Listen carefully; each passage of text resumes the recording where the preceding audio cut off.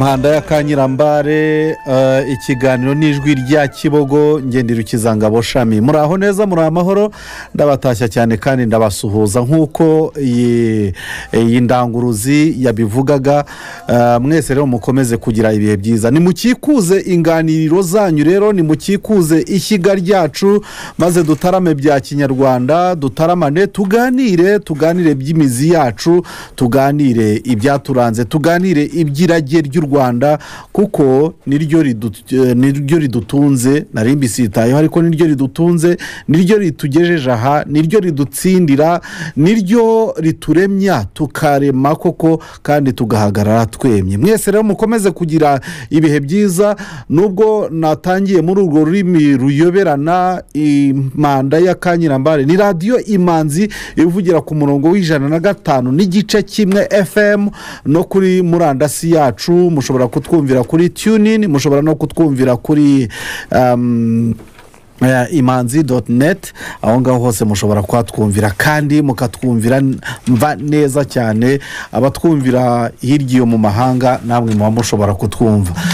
Mu ruganiriro sindi njyenyine rero ndi kumwe n'abandi bataramyi ndi kumwe na nyirishema ariko si nyirishema nk'uko mubyumva afite irindi zina yitwa kandi atiyise atiyise niko murabibabwira ndi kumwe na nyirimanzi ah, ingabo ya rubanda nawe akaba ari ahangaha. Nyirishema izina ryawe ry'ubwiru wahawe n'ubwiru.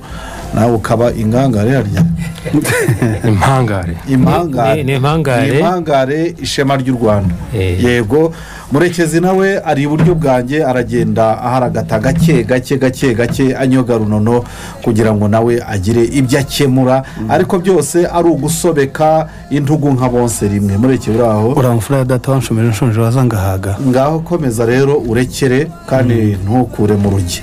Yego Ba- murabimenyereye rero ko tubanza tukanyura mu byo twaganiriye mu gitaramo cy'ejo mu kiganiro cy'ejo ijwi rya kibogo. Ariko ngiye kubababwira mu gihe gito cyane ariko na nyirishema eh, ndetse na nyirimanzi barahari kugira ngo bamuhiremo mu by'ukuri tutagiye mu bintu biri kure ibyo twaganiriyeho ibyo twaganiriyeho ejo twaganiriye kuri kibogo inzira ya kibogo tugera ku mwami kazi umwe umwe yavumburaga eh, ibyerekeranye uwo nguwo usesurura n'indi ari ni korode hari undi? Korode rwose. And- angize gusesurura iyo ngeze ahangaha eh, eh, ibiba byamanutse nta byazi avuye ibuvavi yego na- na- ubuvavi na- na- natuvanireho ibyaha ataduteza mu ngwe.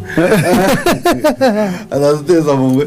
Ariko eh, eh, eh, ibintu ni bibiri. Ni uko kibogo kibogo yazaga afite imitsindo naho mu ngwe ah, yazaga ah, yerekana aho ibintu bishobora kuzapfira aho aho, ibitekerezo by'ububisha n'ababisha bishobora kuzapfunukira hanyuma umwami kazi we akazana imitsindo yo kuhatsirika.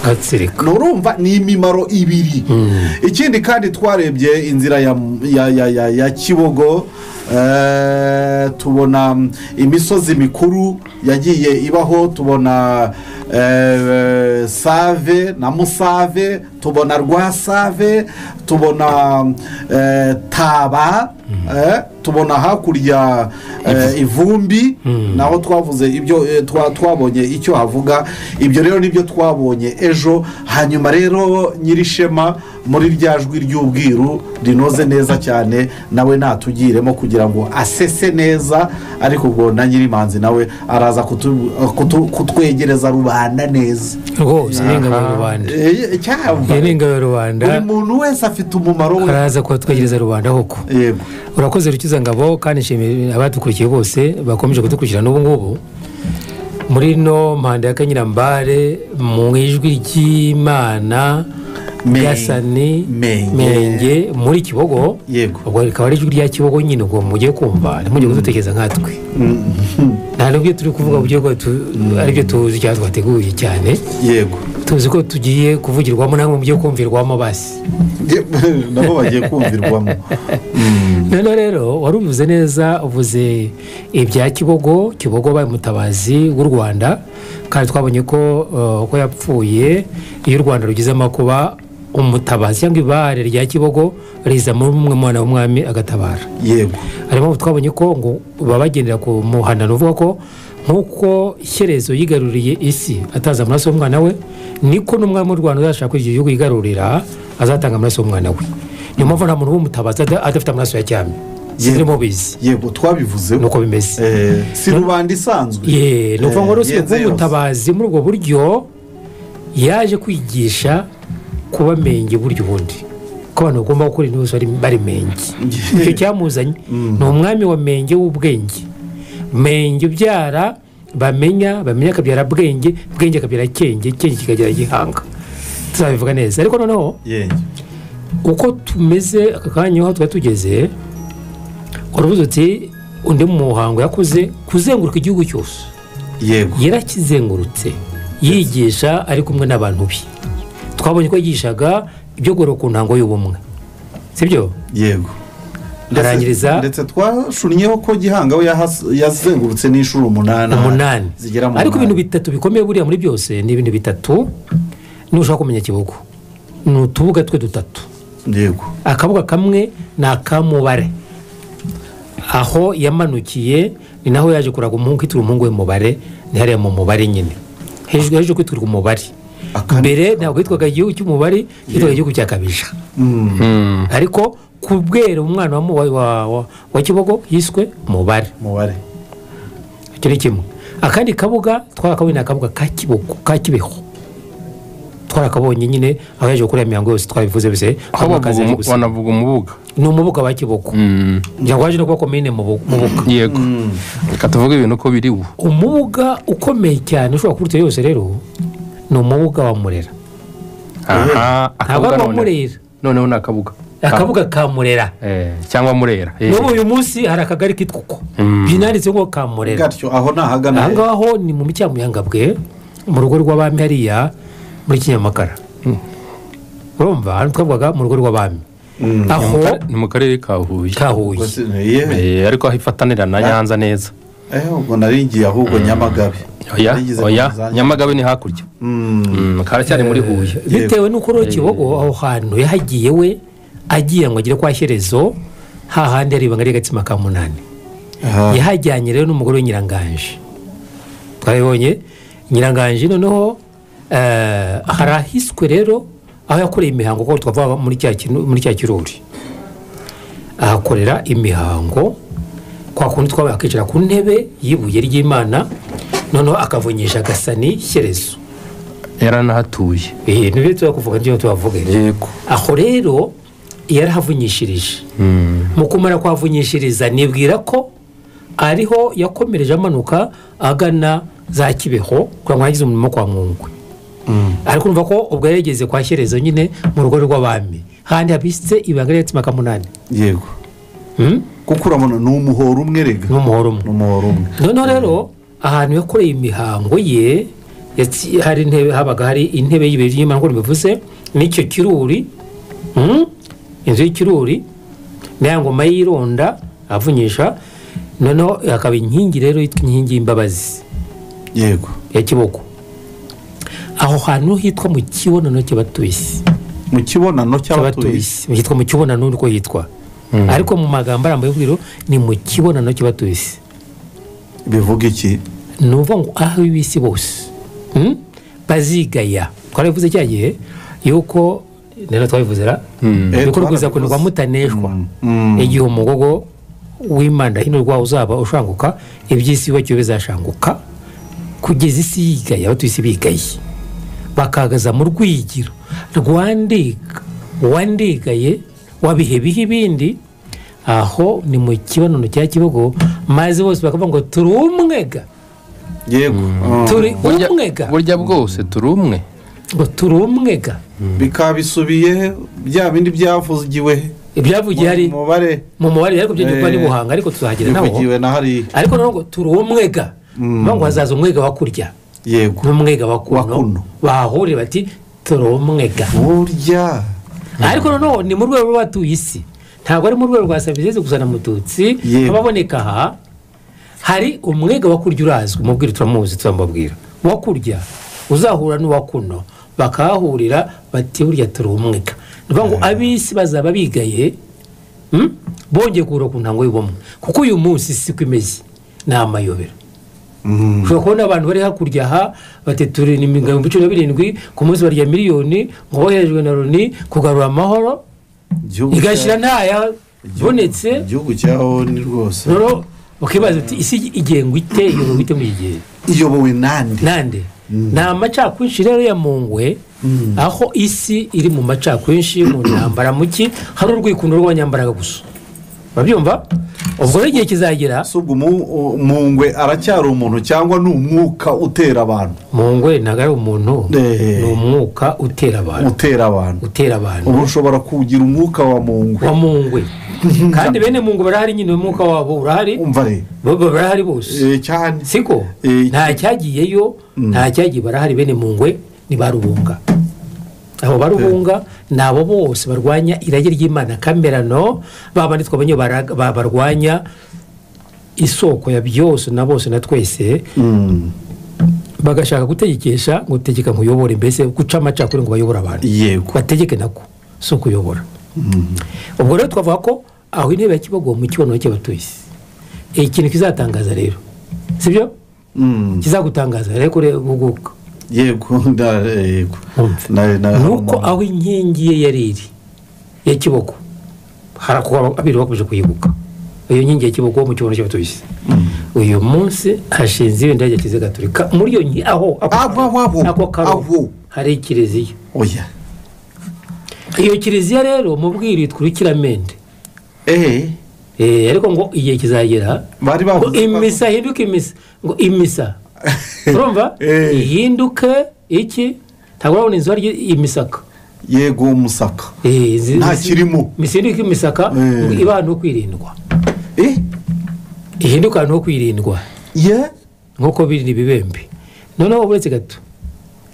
Nageze nk'uzahaca wese azahacaho amama oya igihe kizagera abantu bamenya imana kamerano. Mm, aho itandukanye n'imana karemano abantu baremye yego. Bakanga iyababyaye ariko kuba yaremye habayeho kurema nyine nk'uko babivuga. Yego. Aho rero imana kamerano ijwi ry'imana kamerano gasa nimenge muri kibogo ntiryumvikana.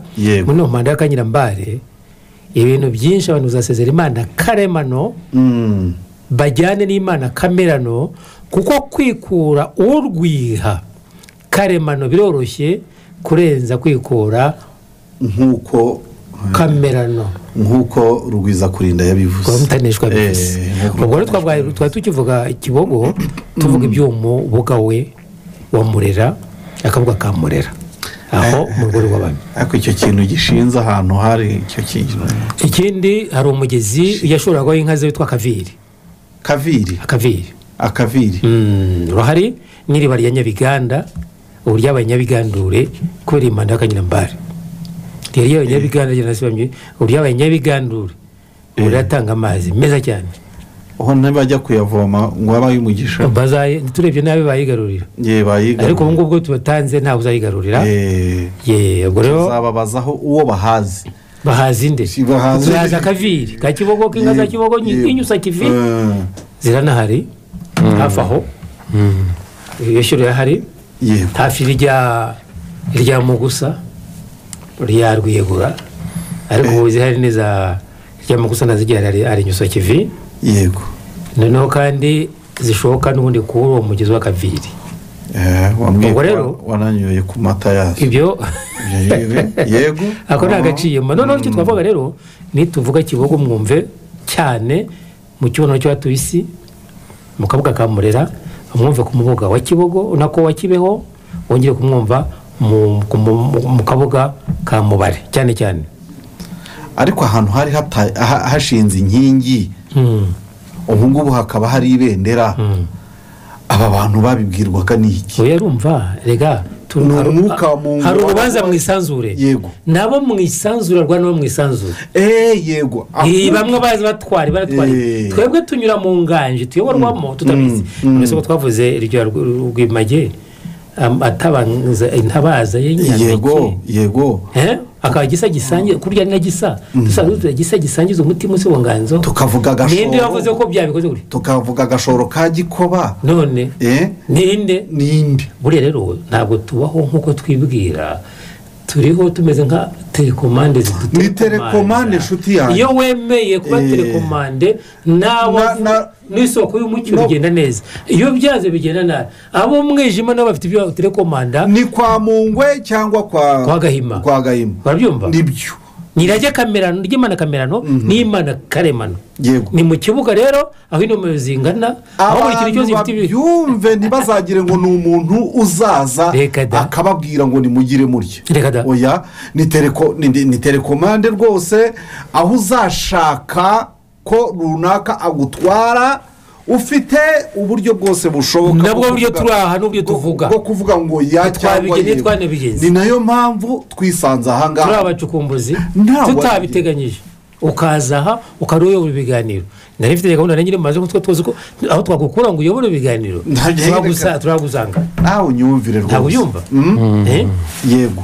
Hanyuma eh, iri jwi rya kanyirambare iyi mpanda ya kanyirambare na yo uko yaje ikaza aha bikagenda kuriya. Hari icyo ndibuze kubabwira. N'ugomba kuyivuza rero buriya. Turamuteguriza ubu. ntaraza hazaza uyishinzwe. Yego. Ubu twe turamuteguriza. Hazaza ushinzwe iyo manda y'akanyirambare muzagira muri kubona uwo uwo mwera azaza Nyirima. ntizivugira Eh, ku cyumweru. Eh, eh, ku cyumweru? Ubu yari umunsi nego we aziyizira niba aziyizira. uzayivuze uwo uherejwe kuyivuga. Maze muhore urumva hazaba hari nyirimanzi hari nyirishema na nyirimpanda ya, ngaho muzamureba Eh, sibwo mutangiye kuba biru namwe eh, Eh, rukizangabo reka rero nanjye ngira akantu nongeraho karame buriya nk'uko wabivuze neza nk'uko ni ukutwegereza rubanda ni cyo nshinzwe. Niko bimeze. Eh, kugira ngo rubanda ita idatana itagira ngo ni n'ibyo duhimba cyangwa twihimbira itagwa mu matsa. Eh, aha hantu hose tuvuga muri iri jwi ry'akanyirambari muri iri mpanda y'akanyirambari hariho mu rwanda. Amaze kugura mu kibonano cya kibogo mu kabuga ka Mure- murera yewe na, na, na, no mu buga wa kibeho hose harazwi. Mm. Eh, harazwi harazwi rwose kandi hafite ibyahabereye. Ubu- n'ibizahabera n'ibizahabera ibizahabera Eh, yego. Nk'uko twabikuguye neza ni irage ry'u rwanda dukurikiye kuko umusaka nturaba. Eh, irage ry'u rwanda ryaje rikagenda rizimira ku gihe cya mungwe rizongera rizimire ku gihe cy'abakoroni ariko kubera imitsindo y'akazi tukazageraho tuka- tukigaranzura. Yego. Ubu rero hariya hose naho kibogo yagendaga muri kata hazaza ikibazo. Mm. kaza kaza agahakubita umwotso. Akashaka imitsindo yaho. Yewe na nyuma gihanga noneho ni ho hazahera mu rurimi bashobora kumva wenda re- re- ntibagire Eh. ngo turavanze. Eh. yakoze mapingi aha. Mapingi Eh. yazava ibibazo ibibazo Eh, ibibazo noneho undi ashaka hazava ibisubizo. Ari byo mu mitsiriko abo mwami w'imitsindo Eh, noneho gihanga araza nawe ahera aho ngaho ahanga u rwanda. Naho tuza gucukiriza uyu munsi si byo yego yego. Ariko nawe urabona nk'iyo umuntu agera inzu. Urabizi ukuntu bagera inzu? Bafataga isuka n'u- n'umugozi. N'umugozi bakagira n'izingiro. Noneho- hanyuma bakazengurutsa. Bakazengurutsa. Eh. Eh, urwo ruziga rero burya ni ho ni ho ni ho mu gihanga yanyuraga. Ntabwo yahacagaho. Kandi ikintu utaravaho Mm. burya izo kinyarwanda inkingi ya mwamba. Iva ku butaka aho igera. N'ikuzimu bataba igiti kingana naho. Oya n'umuzenguruko ungana Naho. ngo umurambara u- umurambararo gutya ubwo ibyo kuzimu na gutya birangana. Ibyo twavuze ku musozi wa kigali yego. bitandatu magana ane mirongo inani ugera kuri nako wo hasi. Yego. No kuzamuka wese igira imbaraga Yego. no mu ntuza gutya diyametero y'isi unagize gutya nako reyo. Eh, ihwanye n'uruzi rwa nili. Na niri yaturuka aho? Ubwo bure Nili. bukajya aho ngaho hafa Eh. ibi rero tuvuga tubishyize mu rurimi rwumvikana ubundi kuko ni ururimi rw'ubwiru ni ururimi rw'ubusizi ntabwo ari ururimi rwa bose ariko ibi tuvuga bi- bi- bi- bifite ibihamya. Yego. Birahari rwose bifite ibihamya ku buryo n'ubu ngubu akubwiye icyo giti cy'abazungu. Eh, cyitwa- cyitwaga ubundi mu ndimi z'amahanga ngo pakiseromana pakiseromana wari wakibona uko giteye ariko oya. Abantu abasaveri nibo bakunda kukigira. Kimeze gutya igiti? Gutya. noneho kikagira gutya. Kimeze uko Eh, nguko. kikazanamo eh, iyi Eh, manzi. Iyo manzi kimeze nk'iyo manzi yo mu yo mu- yo yo na yo ifite icyo ivuze mu by'ubwiru icyo rero hari ahantu gishinze rwose hari ahantu cyari gishinze eh, hariya nyine mu kabuga ka murera. Kirahari kiracyahari. Hariho Eh, n'irya iki- ikintu rero gitangaje na cyo twagiye tubona muri ubu bucukumbuzi bwacu ni uko aho hantu hari imikindo na, kiliziya ni ho zaje zireba. Zihakubita umwotso. Eh, ni cyo na he eh? Mm. na, nyamirembe ya, ya, ya, ya, ya gishubi hariya uh, gihanga uh, atabarijwe naho baraje bahashyira kiliziya. Ariko tugira imana tugira imana nyuma haza umupadiri w'umu yitwaga ngo rwabigwi. ntirwabigwi ntirwabigwi ko. Umupadiri ntirwabigwi igihe twajyaga kwa umusezero wa gihanga niba mutubwiye. Kandi eh. twajyanye nawe urukiza ngabo oya twaciye icyo gihe ku biti bitanu duca ku kiryamo cy'inzovu. Duca ku muganashya eh, duca ku muganashya eh. duca ku rukaragata. Ku rukaragata turarubona yego tubona kugera inyamirembe ya gishuru. Hanyuma ngo haje umupadiri nyuma w'umunyarwanda aravuga ati sinatura kwa gihanga. Arayimura ayijyana ahandi. Mm. N'uwo ni umutsindo urumva ko yabyumvise. Buriya wasanga yaramurikiwe. Mu- muri wamujyana muri ya mibare ya ya Eh, rwamba. yasanga aha rwose. eh. Eh, ibintu tuvuga rero rubanda ikwiye kubyumva ah, ko atari ibihimbano Mm. kuko bifite gihamya zigaragara. Si n'ibitamikano Mm. ni ibijyanye n'irage ry'u rwanda kamerano yego. Eh, pa karemano. Eh, Ni ariko iryo rage rikagenda rigira ibibazo ariyo bya bindi kivuga yerekanaga aho bizaturuka. Noneho hakaza n'imitsindo yabyo y'akazi. Ariyo gihanga azaheraho. Yego. Ubu turi no mu gikorwa cyo kongera kubi,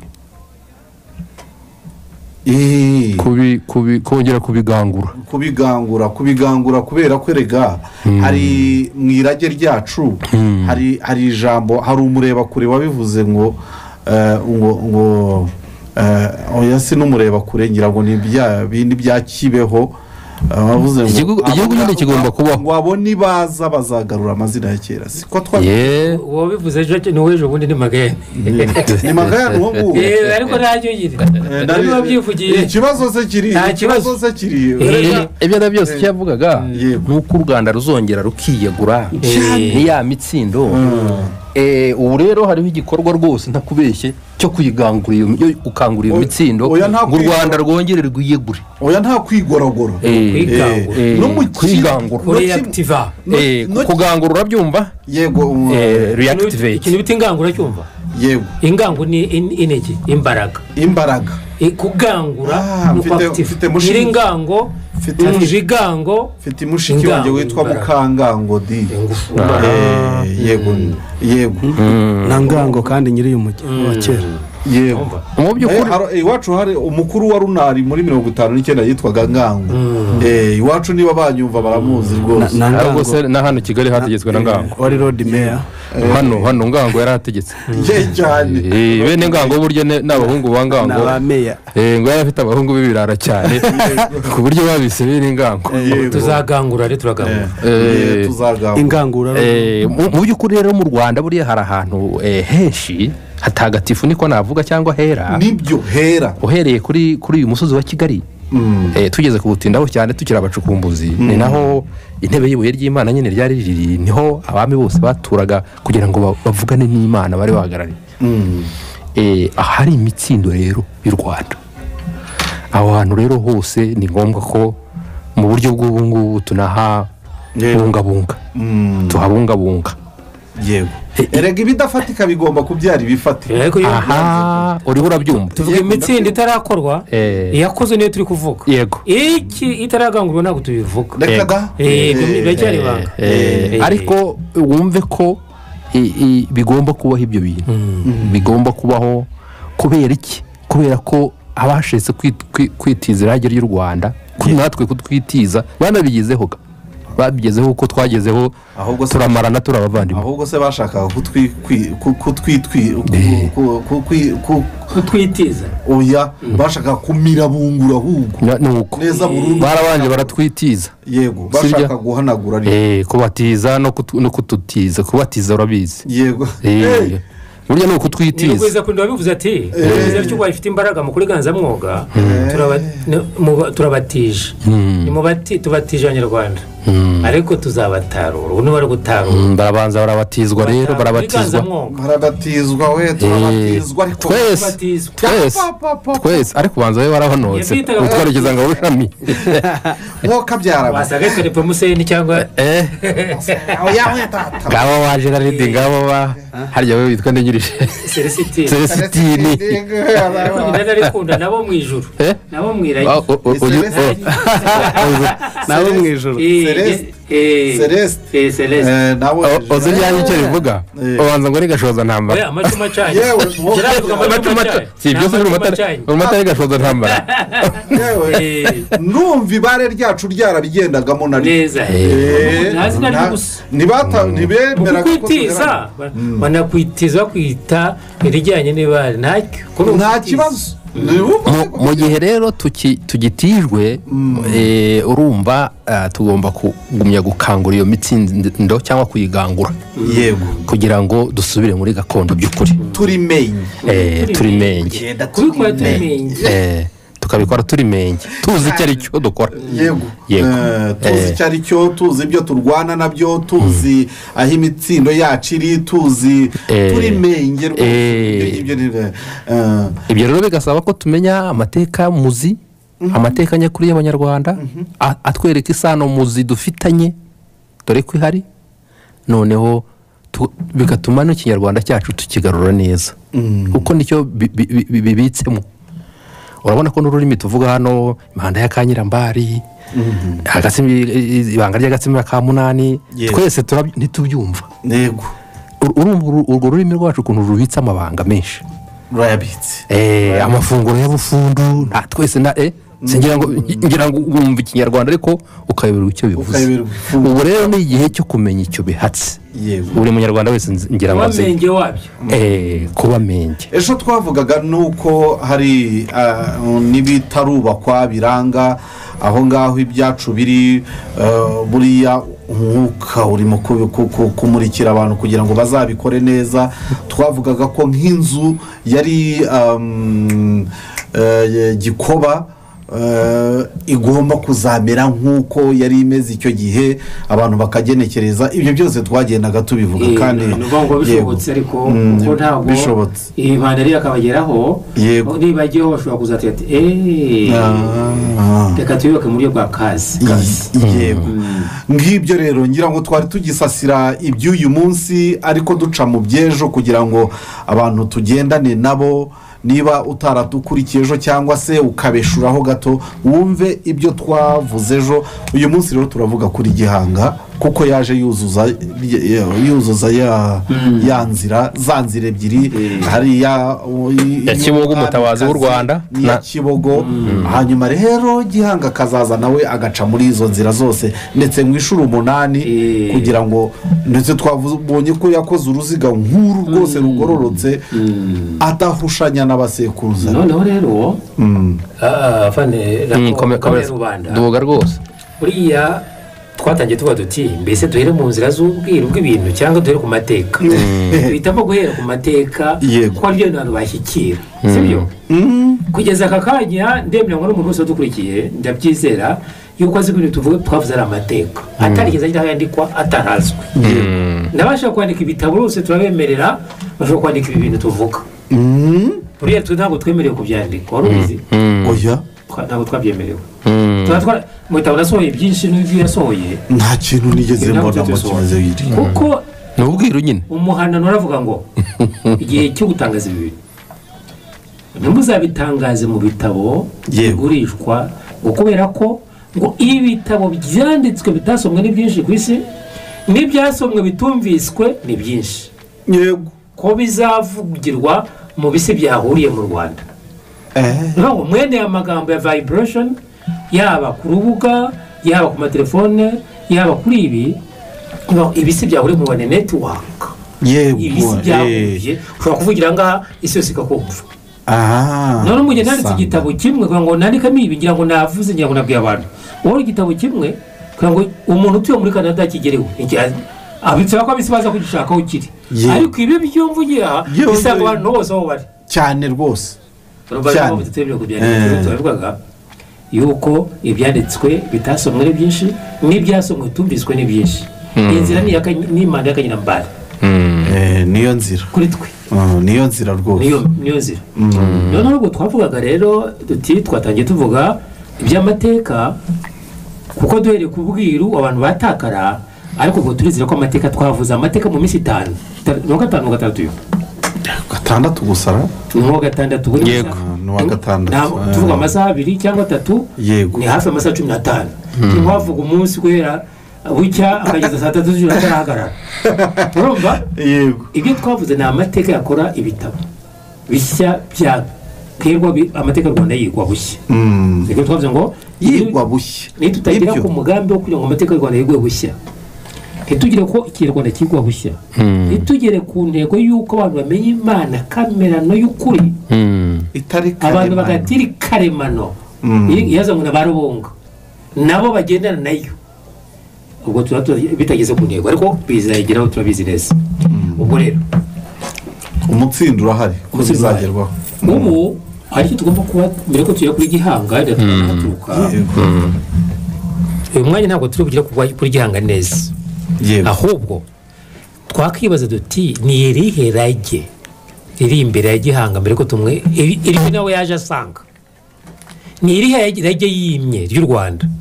Nawe yaje asanga? Nk'ubu. Kugeza uyu munsi turacyafite ubunyano. Yego. Ubunyano uraburiye? Urarya ubunyano kwita izina. Kwita izina. nara- naraburiye bwa nyabwo sinzi ko bwari ubwanyabwo Eh. Eh, kari gafunguye yenda tuvuge wenda mu cyaro waburiye utewe na gake. Oya sinaburiye mu cyaro Mm. Eh, rutanga rw'amaboko yari yakoze uko ashoboye kose arigana. Urumva rero eh, Nk- nk'umupfumu w'u rwanda. yego. Nk'imandwa nkuru y'u rwanda nk'uko abyivugira asigaye yitwa nyagasani ngo rutanga. ye nyagasani. Yampaye ingaruka rero ha ukabyara No, Aya, erega ibyo banza ari ibindi. Mu byo tugomba kungangahura harimo harimo byinshi. Numvise nk'uwo hari n'abatekerereza ingoma na byo ni ibindi. Hari ukuntu umuntu akoresha ijambo ukavuga uriya muntu arumva iryo ari ryo. Umusizi utekerereza ingoma. Nawe ni amahano biba- na- na byo biba ari amahano. Nabyo birari ibindi Ese, kuko eh, ahangaha hari ibyo tuzatinyuka. iritekerereza ingoma.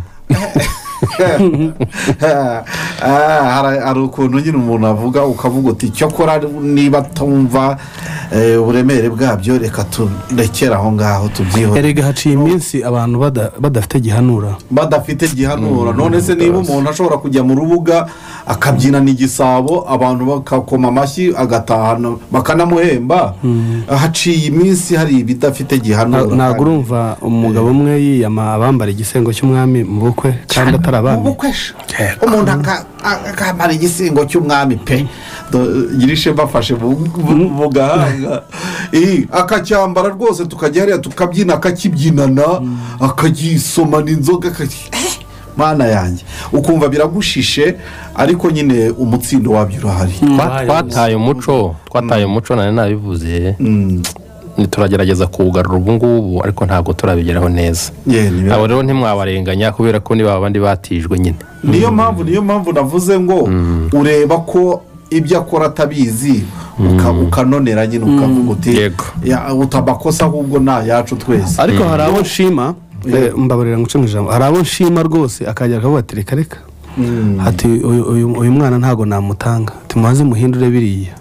Barahari rwose hari abantu kibogo akoreramo. Hari n'aho bigeze kubyina abagore be- bene imana nabi umusaza arahaguruka. Aritahira. Aravuga ati baramugarura ba- bati ubaye iki? Aravuga ati "Nimu- abo bantu nibabe baretse. Be kubyina bene imana nabi kandi nyizi reka da reka nkwereke. Umunsi umwe hano hejuru hari ahantu hitwa murimane hano ku irebero. Meromani Eh, murimane banza ari nk'igiswahili wenda ku Murimane. musozi hejuru ngira ngo. Murimane rero umunsi umwe nagiye kuyobora y'ubukwe noneho um, itorero rimwe nyine navuze izina nawe urabyumva ko bitaryoha. Rirahamira imana yanjye. Rwose bimwe bita ku makisimiza barahamirije cyane pe. Ntako kabyo. batagize barahamiriza nawe urabazi iyo wabahaye miliyoni. Wayivuna ndeba ndeba umu- umu- umusaza wari watanze umu- umukobwa we ubwo sebukwe w'umuhungu. Arambwira ati gera hino mureke ati buriya se barashoje? Ntibarashoje buriya barashoje? Ntayo mbaha. Ese kubera iki? Nta bene imana nta bagore beza se buriya babyinnye iki? Nta mpundu. Nta bene imana nta bagore beza. Ntacyo bakoze. Bagize bati. Narabagaruye ndahamagara umuvandimwe ndavuga nta bene imana nta bagore beza. ntayo mubona. O- oya baravuga bati hari n'iminota isigaye? Ati nta kibazo. Mugaruke mugaruke. Barongera bakubita ingoma kibazo. barabyina mbona umusaza arasetse. Ati nta kibazo. Rero ibyo bintu aya mateka twiga ahangaha ah, njyewe ku icyizere Yego. numva byanze bikunze. Ibi bintu bitazahera burundu. Um- gashyiga izajya ishyigura umuntu ahaguruke. Ndi- ndiko bimeze. None iyo twicaye ahangaha ku mpanda ya kanyirambare ukumva umuntu harya wa wundi arihuye ahagana he? Ukumva arashabutse ukumva wagira ngo turi kumwe. Baranatwumva wewe. naho uriya musaza se ajya yitwa irahirana nuru. Ukumva ara- ararambura ibitabo saa yine z'ijoro avuga ngo dore ngo ngo ibyanditse ni amapaje aya n'aya ni ibintu ni aka- ni ka kagozi ka bugingo kadashobora gucika. Eh. uburyano wambazaga ngo twavuga rero mu bintu bikomeye mu irari rya kibogo. Uburyano kandi tuburiye tutari menge noneho ngo tube menge y'uburyano noneho tube menge wabwo. Yego. Yewe warambwiye ko utigeze uh, jera? Nako ngaberuba. Naraburiye uri. Nyirizina. Ye- ye- oya simbizi niba bwari nyirizina kuko twari muri iki gihe nyine niba ari ubwo mu cyaro? Eh, niba ari uburiye mu cyaro? Buriya ni bwo. Mm. Ni ubwo waba twajya ku rutaro no kugira gute Ah, rwose tugacuranwa ahubwo. Eh. icyo gihe cyari igihe cyo gucuranwa. Nibyo. Ubwo ubwo nanjye ubwo nanjye naraburiye. Sinzi n'impamvu bacuranwaga. Ku rutaro. oya tubwira impamvu bagomba gucuranwa. Ndetse nigeze mbyemera. sinza kubimenya. Cyakora icyo Eh. nabonye ni inkonzo no gutera amazi Ubwo- hejuru ngo n'ubwo ni bwo rero. Ubwo ni bwo. ngo imvura iraguye nimuze. Eh, bakaza biruka. Ubwo ni bwo. Ariko mubanje kwigisha ibiti. Yego n'ubwo nyine n'ubwo twese tuvuga. Inkonzo. Ni igisigarira ariko kuko abakera bavugaga ngo habagamo no muri ibyo biryo habagamo uturyi uturyi Ah, tw'uruhinja. nta kibazo urareba uko byaba kose waza baragira ngo badacuranwa cyane. Muri icyo gihe kuko ni nko kubatera ubwoba baterekagaho bafataga aho umwana bakarunda aho yagize ariko bagatereka urutaro hejuru. Eh, hejuru yaho yaho ntabwo ari two bagira nta narigize Ah, ntaninjagiraga nta- ngo- nta- ntabwo ibyo bintu. nta munyarwanda ntiyari gukora ibyo uriko mwibuke ko uburyano bwari bwa ku munsi wa kangahe wa munani babaga bazengurutse iki ni ikibehe cyangwa ni urutaro ni ikidasesa ni ibidasesa Eh, urutaro rugera munsi ariko n'imbehe ibyo uri ku bikoresho munsi wa munani bazenguruka ikibeho cya kibeho kurabyibuka ah yego. Ahangaha ku munsi wa munani bakikuje ku munsi wa munani twebwe du- dukikiza iki? Urutaro. Urutaro. Kwita guha umwana izina. Bavuga kumwita izina cyangwa kumuterura izina. Niko bivugwa. Mm. noneho dore ko umuhango wamanukanwe na kibogo n'ubu ukaba ukiriho nyine. Niyo mpamvu twavuga duti n'izina witwa? Buriya ni izina ryo mu isanzure si wowe upfuye kuba bivuga? Niyo mpamvu bakwita abakwishyizemo yego. Nawe- nk'uko so ari intanga ya sogokuru. Na sogokuru akaba ari intanga ya sogokuruza. Yego yego. Niba ko ni umuntu wishyira mu wundi. Urumva? Ni intanga kubaho yanjye ijya muri wowe nkaba ndakubyaye ni intanga kubaho yanjye. Burya intanga ni intanga kubaho. hari None se ugutanga nko guha hari no gutanga nko kubanziriza. None se ubundi ntigutanga Intanga kubaho. pe. Ni kubaho. Intanga Eh? kubaho. Mu maso roho. Yego yego yego. Hepfo hariya Eh, mu maso roho roho roho roho. Ku mukandara Eh, urumva ne- urukiryi rwose. Urumva neza. Noneho twavugaga rero umuhango wo kwita izina ni umuhango ukomeye cyane. Babyita kuryeza reka wumve ukuntu watangiye. Ngo kweza amazina no gutanga izina ni ibanga ryari ryihariwe n'abareba kure ryamukanwe- ryamanukanwe na kibogo maze araribatoza by'umwihariko uyu muhango kibogo yaje kuwuraga umuhungu we yitwa mudasobwa. Mudasobwa. Muramwibuka? Iyi muhungu we mudasobwa. Baramwibuka. Mbere y'uko uh, mudasobwa ni wa matimba Mm. wa tebabagwe wa Nyampeke. wa Wa nyampeke Nyampeke. hari n'undi umwera ni we muhuza nkuba muhuza ngabo hari nka batanu abana be. Uzi ingabo bihuza ingabo ngire ngo. Mm. ngo mbere y'uko uwo muhango utangira kibago yabanzaga agihari akimanuka mu mubari. Agifite ya nkanda gasani Yego. atarajya gushyira ku wa nkanda Mm. ngo kibago yabanzaga guca imirongo kuri iyo nkanda yamanukanye. Agaca imirongo uzi uko yabaga imeze? Yacaga imirongo igize itya? Igisi? Yego aha akongera agacamo ugize utya? Yego. Akongera agacamo ugize utya? Ah. Nushaka kubibona neza uwo murongo yacaga uzabona mu ibendera ry'ubwongereza. Yego. Ariko nabwo nubibona nitwiga inzira z'amazi uzabona ko akarere ikibuga harimo kitwaga karimo ah, hari ubutaka kitwaga ingaratare. In- ingaratare. Ingaratare. Eh. Angleterre. niyo ibyavana nkuru n'ingarambeshaho oya subiramo Ura. ntitubyumvise neza. Ngo tuzabona ko nitu- mu nzira mu z'amazi. tuzabona ko akarere kari hagati y'akagera. Urabona akagera gasobo kiba kagiranye ntuzi imaze kujyamo. Iriya iriya umuvumo umaze guhura n'aka- n'akagera yego. Uwo mugezi ugenda ukajya muri victoria. Si nyabarongo se yijugunya mu kagera. Ariko turavuga Eh. iyo bigeze kagitumba. Yego noneho umuvumba winjiye mu kagera. Yego. Bita bi- impore. Si kagitumba se hariya? Bikora kagitumba kagitumba bikagenda bikinjira muri victoria. Mm. hari n'undi mugezi rero uturuka nyuma y'ibirunga ugenda ukora ngo rwa kongo na uganda. Ese iki uba uciye hafi y'ishyamba ryitwa ecuya forest. Yego. ryo- muri uganda. Kugira ngo bemere ese bemera iki ese bemera iki niko witwa mugezi? Witwa? Ese bemera iki ese bemera iki Niko witwa. sebemeriki Eh. Eh. uwo mugi- iyo uhuriye uhuye na nili none wasohotse muri victoria. Yego. Urumva ko bisiga akarere hagati kava aho amasoko ya nili ari bikamera nko gutya guhobera burya yego. Aha hitwa mu ngaratare ingara iritari y'ubutaka mbese ubutare Ingaratare. aho uru- urutirigongo rwa nili ya kongo nili bita bita umugongotare Eh, ibisanga muri nili kuri iyo ngara nyine aho bihuye bityo bitwa ngaratare hirya bikaba ingara kongoro. Mm. Za kivuriya nuvuga ngo kete za Yego, yego, yego, mu bwiri bwa kera noneho rero iyo ngaratare niyo ngara ya mbere ibeshaho mbeshaho rake victoria yitwa ingara ya mbere mbeshaho y'amazi. Aha hari ubutaka yitwa ingaratare yego. uzumva ko tuzabibona neza ko ibihugu byose ziriya za nzaramba ubufaransa buzaba nzaramba za amerika zikabamo ari nka byose tuzabibonamo neza na za kanada na zerikanda na za niyagara ko ari ngara ingara y'inuza yani masumo ya ngara ariyo masumo ya ko ari ibyo rage ry'ibanze ryakwiriye isi yose. Ariko turavuga duti nk'uko ubona ingaratare hazana ngeretere. Yego. Uraza gusanga nyine iyo nkanda ya kibogo bakiyifite mu ibendera ryari bakomezanya yego. Ubwo nta kari gaciyemo. Eh, ariko tuhavuga rero ko mbere y'uko shyira kuri guriguru Yego. Yise ngo ni guriguru. Ngo ni guriguru. Shyira guri- Shyiramo ingaratare. Eh, turebe ibendera turebe Eh, ibendera. Eh, ni byo twarebaga. Eh, ingaratare. Mm. Ku- kuki wari uyizanye? Nari nyizanye. Mm. mvuga ngo mbere y'uko umuhango utangira kibogo yabanzaga guca imirongo kuri ya nkanda yamanukanye. Imirongo yacaga rero niyo ngiyo imeze uko ni wayibonye. Ugukora igisi tugakora n'umusaraba mo hagati.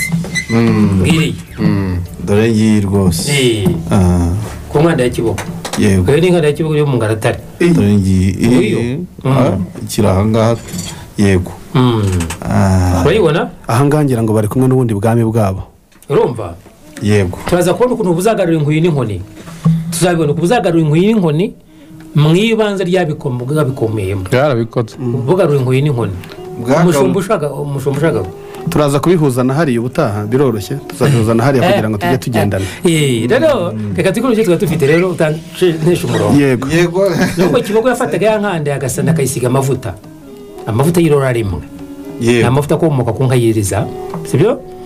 Yamara kunoga agacaho iyo mirongo tuvuze y'impuzamembe Yego. nanone agacamo imirongo ikoze umusaraba na yo ihurira muri ka kadomo impuzamembe zahuriyemo. Tubonye? Agashyira amata y'inka y'uburiza ku mbehe.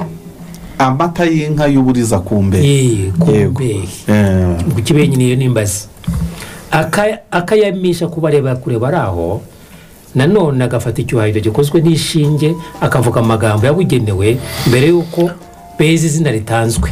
Urumva ko habaga ari umuntu ubwo turi muri bwa bunyano. Bwa bunyano izina bageze aho hagiye kwita uzi ko niyo mu bunyano abana babaga bacuranwa kuko urabyumva Mm. wibuka ko baga udutsima umunani urutaro rwajyagaho udutsima umunani tumeze nk'izo mpembe umunani. Reba urwo rutaro. Reba iyo ngaratari aho ngaho. Ntabwo ufite udutsima tirangire umunani? Yego yego. Mm. ni agatsima kamwe kajyamo hamwe turiho udutsima rimwe umunani umunani, kane di. gatatu kane gatanu gatandatu karindwi umunani Ni yego udutsima umunani kandi hariya hajyaga ku rutaro abahungu bane n'abakobwa bane ariko b'amasugi. Yego. Bafite se na nyina. Yego kuvuga kuvuga amasugi kiriya gihe ntibyavugaga ngo ibiki n'ibiki. Ni umwana ufite so na nyoko. Eh, kimwe n'umugore utarapfusha cyangwa utarahukana Mm. utaranabarura isugi n'umugore w'isugi. Mm. urabyumva noneho rero urumva ko ubwo bunyano uko bakora ku nkanda ya gasani ni nk'urwo rutaro ruriho utuntu umunani. Udutsima umunani. Twa dutsima umunani. Noneho rero. Noneho ngo eh, aho kiboko ajya n'iya nkanda yagasani hejuru ya nyirankende na nyuma y'uko asubiye mu ijuru kibogo uwo muhungu we mudasobwa ni we wakomeje uwo muhango nk'uko yawutojwe ariko atari afite inkanda noneho yacaga urwo ruziga ku butaka. Mm. noneho agakora ya mirongo. Yego. Agashushanya ya mirongo ha- hasi ese yajya agashushanya akabwirira abari aho ngaho bagiye kwita izina. Usibye abana uzi ko ba- bavugaga izina bishakiye ariko uzi ko habaga ari abantu bakuze bahagaze banywa inzoga. Yego eh, barangira ati umwana yitwa nde? Bigateza ko se w'umwa kuko umwana aba hagati- hagatiwe na nyina ari ku nteko ateze urugori. Nyina yibe- se yibereye mu nzu urabizi niba ubyibuka yego. Bajya kwita umwana izina se agasohoka. Noneho umubyeyi akamuhereza umwana. Undi akaterura akamwita izina. Ariko hari igihe bareba kure bari aho cyangwa abantu bose bakuru bakuze bashobora guporopoza amazina nabo urabizi yego. Noneho rero ubwo mudasobwa yabwiraga bari aho rero ati bareba kure mwibuke mubazi mubazi cyangwa mubazi wambazi mu mazina wa ntampaka warangiro warangiye data kibogwa ku rutabo rw'inkanda ya nyirankende ngo ijirage ry'imana itazakenderera burundu kwa mungwe. Yego. Aha ni ho duhagaze Eh. ngo ijirage ry'imana itazakenderera burundu kwa mungwe nyamuzinda. Wazindariye mu gikingi cy'umwami imana inkubashyerezo n'umwamikazi nyankubagasani tumaze mwibuka ibyo? Mhm. ese ubwo wabivuga abantu ko utari ku bunyano si ibyo turi kuvuga buriya? Yego Ni ibyo turi kuvuga? ni ibyo turi noneho ngo yarangize mu magambo akabwira abareba kure ati ikaze mu gitaramo babyeyi. Mu gitaramo cya mutarama ni kwakunda kucyita nuko hatari mu mutarama mubisi mu- ngo ikaze mu gitaramo cya mutarama mubisi amazina y'abantu banyu. Y'abana banyu. yego. Barangiza kwita amazina abana batyo nyampundu ubwo nyampundu yari agihari yego. Nyampundu akavuza impundu abandi bakoma mu mashyi gatatu bavuga ati babyeyi murakoze babyeyi murakoze cyane babyeyi murakoze cyane. Uwo rero ni- ubwo rero ni bwo bareba kure babwiraga umwana uhawe izina n'ababyeyi bati izina ni iryo muntu Mhm. izina ni iryo muntu yego. Mu gikingi cy'inkuba shyerezo n'umwamikazi ganisa. Ganisa? Eh, gasane buriya Eh. cyakuze gasani na Agiye gasani na avuga. kiboko ntabwo bavugaga ba- mu ndimi zose bavugaga urukonjo n'urucuzi yego. Bivugiraga urucuzi n'urukonjo ubu bivuga ganisa. Eh ganisa. Eh. n'iby'amakanisa ngira ngo naho biri. Eh. ikanisa ganisa. Ganisa. Rero ngo shyerezo ngo n'umwamikazi ganisa nyirankuba. Wo soko ya byose na bose na twese barangiza hakabaho ibirori bikomeye cyane. Mm. urumva ko umanga kwita izina rwago ukomeye. Ariko urangira ngo izina ni iryo muntu. Bara- urumva ngo bezaga abantu kugira ngo baze gutanga izina rizima. Yego. Haze gutanga izina rizima. Buriya nuko byanageze kose si ku buryo witwa rukizangabo rukizangabo twasanze hari kangahe? Ijana na mirongo ine na rimwe. Ijana na mirongo itatu na rimwe. ijana na mirongo itatu na rimwe. Bivuga Eh, iki? Bivuga ivuga bikaba imana ivuga bikaba. ni icyo wavukiye kandi ushaka. Kugira ngo uzagera kuri umuriro rwogera ni uko uvuga u rwanda kwita u Kandi, rwanda kuko ni eh, irindwi n'icyenda. Mirongo irindwi mirongo n'icyenda. Irindwi n'icyenda kabura bikaba u rwanda wo- wowe ukagira ikibazo. Eh. wowe ugatora inzuki ukamusa mu nzuki Bao. Oya. cyangwa ugatora amashashi. Oya bikavuga agasega ntambara noneho. Icyo gihe ntabwo uzaba urangije icyatumye uvukiraho yego. Uzongera uze gusibira.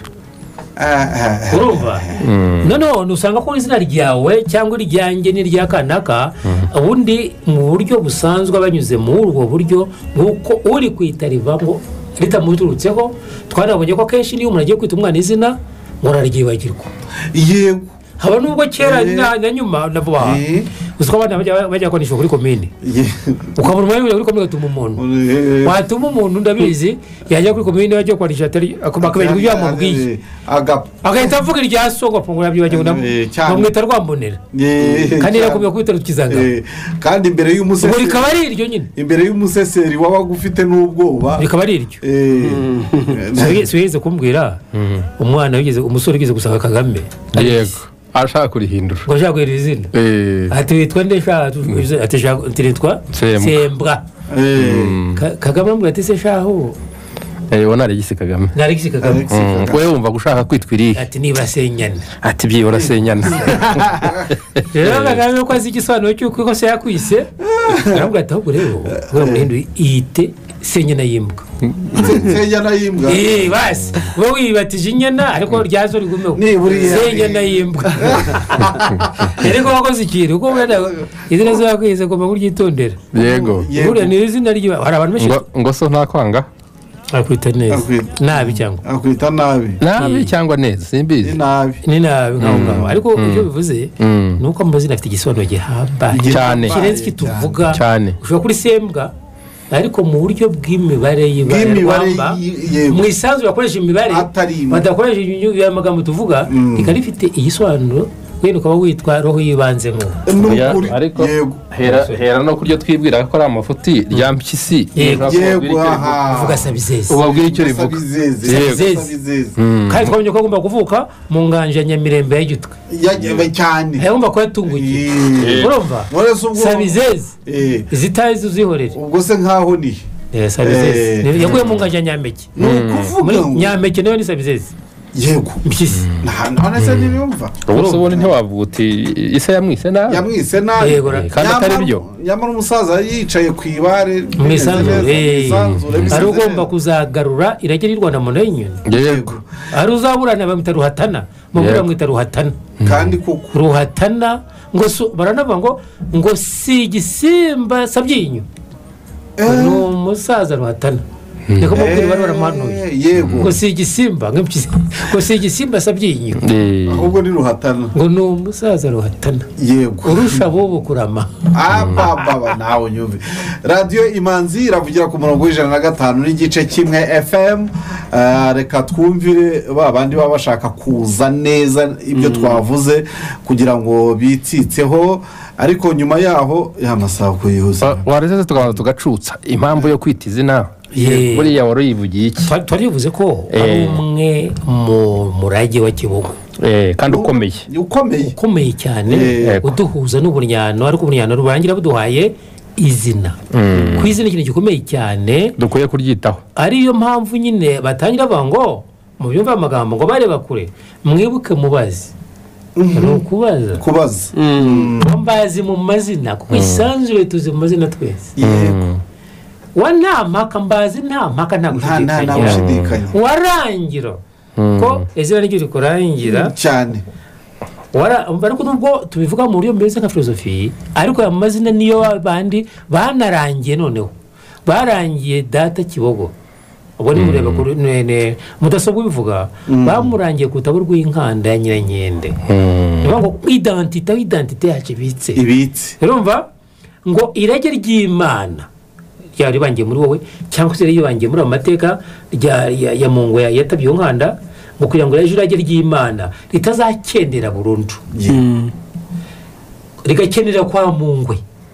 Ubu murebye nabi rigeze habi ryakenere kwa mungwe burya? Irage ryacu niyo turi ku- kugira ngo ridakendere kwa mungwe nyamuzinda. Wa muhungu. Wazindariye mu gikingi cy'umwami imana inkuba-shyerezo n'umwamikazi renko ubu tugira ngo bene irake. Bazindagiriye mu cyo- cya mungwe. Na runga urumva? Bazindukuruke. Kuzindara no kuzindukuruka. Kuruka. Ni ukubatiza no kubatarura urabyumva?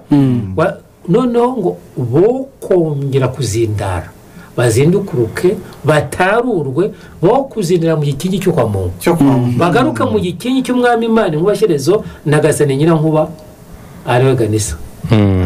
Muri make buri zina ry'umuntu rifite icyo rimaze Risobanuye. Eh, risobanuye. Muryiteho. kandi muryiteho kugira ngo mu- mutazahera kwa nyamuzinda. Hari umuntu wigeze kugira iki- amatsiko? Eh, noneho ariko ntabwo tubivuga ariko tubyinjiramo. We akora abayoboye abagaba bayoboye ingabo z'inkotanyi. Abanyuze aha abanyuze iriya babinyirana abandi bose bose baba bagomba kunyura n'amazina yabo. Mm. ayahuza n'ay'ubwiru. Ayahuza n'iki? Asanga ari bo bagomba kuhanyura nawe Bari abantu ntabwo turahagera aho ngaho ntabwo turahagera ni agaciro twavugaga amazina gusa. Nta kindi tuvuze ni agaciro ngibyo. icyo gusa ko nta muntu uri mu mwanya utari uwe buriya. Mm. Ntawe keretse uwazindaye Eh. nabwo ari mu wabwe ntiyawumenye ntiyazindariye mu gikingi ni nka bakundi abantu bajyaga i bugande bagahinduka indaya ni byo byumva akajya i eh. bugande yagiye guhaha akihererayo. Eh, kandi yagomba guhaha akagaruka akavuga ati namuriwe mbarara Eh, kandi ah, arabizi." atanagarutse Atana- atanagarutse yego Eh. iryo pfundo kuze. rirapfuye iryo rapfundo ni umurage nibura w'ibintu bikomeye. Wo mu gihe cya kibazo ngo na kibugo tugifite uyu munsi. Wa- wavuze nibura ko tutahonnye burundu. Ko ari umu- ko ari irage tugifitiye umuzi. Ah, ariko noneho kurikora tutari menge. Buriya tugira ngo tubikore turi menge. Yego wabyo. Eh, yego tutari kugenda tubikora kandi tutabyumva tutazi icyo dukora. Bidafunguye. Eh. yego. Urumva? Mm. ubu ni kimwe nivuze cy'irage rya kibogo. Rya kibogo. Muri iyo civilisation. nibura tugifite. Tugifite. Yego. Inshuti bakunzi bacu rero ku murongo w'ijana na gatanu n'igice kimwe fm ni ho tumutwumvira ni radiyo imanzi impanda ya kanyirambare tukaba tukiri muri cya kiganiro cyacu ijwi eh, Rya Gasanimenge. muri kibogo eh, tukaba turi eh, tu- tu- tuganira tu- twabanje kuvuga ibyo twa twavuze ejo hanyuma turanzika noneho tujya mu nzira ya mm, eh, kibogo tureba ukuntu ah, umwami kazi yari afite imitsindo kibogo ari we waragiye avuga ati ishyano rizatungukira aha. Iyo uvuze ngo rishobora ha- haba hajemo gushidikanya aho yavugaga ngo rizatungukira aha. Hanyuma kazi we akazana imitsindo yo kuritsinda. Ngira ngo ni na yo mpamvu tugifite umunyano kugeza na n'ubu. Ngubu hari aho- hari- hari- hari ibyahonotse. Yego. Yego. Reka dupfundikire ipfunda ahangaha rero tunywe ku mazi ngira ngo twashyiramo inkera y'urugamba sipiriyani inkeragutabara mu kanya gato turaza dufungura umurongo wa telefone tuganire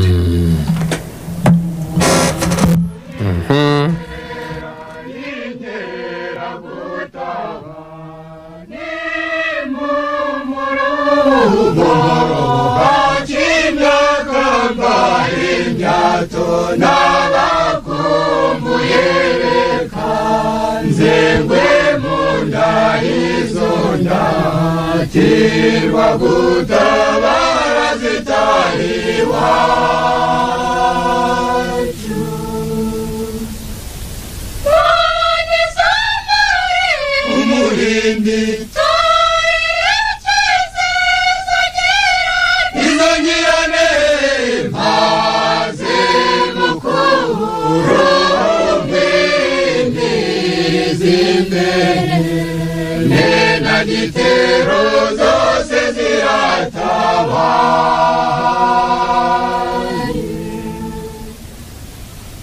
wizira kurusha rwa mudatinya cumurisho borabanzi ntore intega mubiri wino wiyereka inyamibwa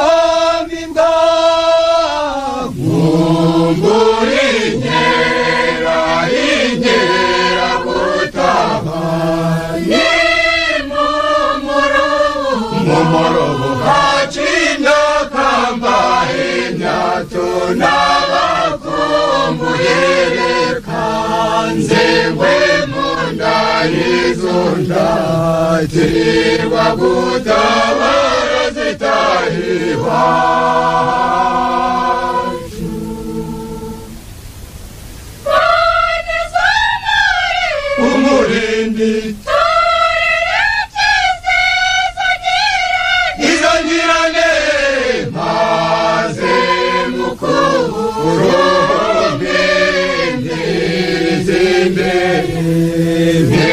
gitero zose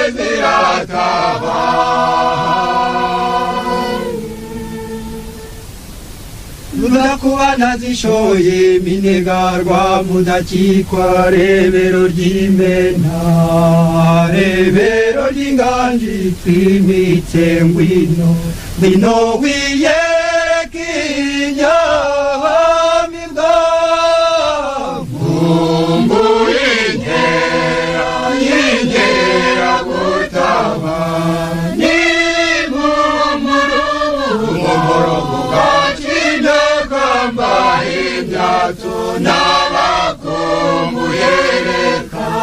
nzengwe mu nda y'izo ndatirwa gutabara zitahiwa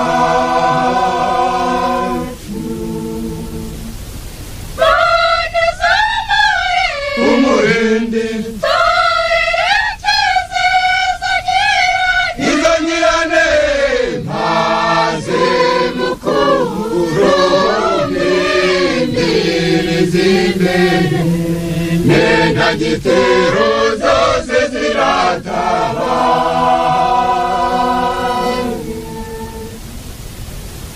ndengabaga zidatsimburwa ku rugamba ngangari basumbi abasizanira gusarikange amugende yintagungira ngwino. Ngwino wiye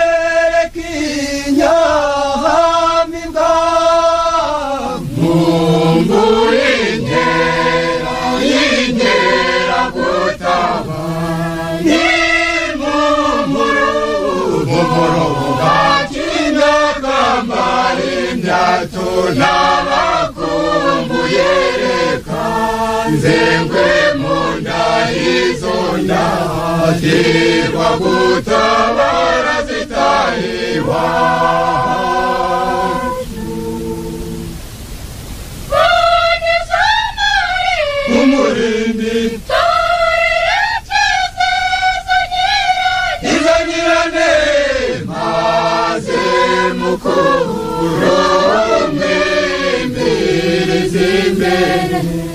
nena gitero zose zirataba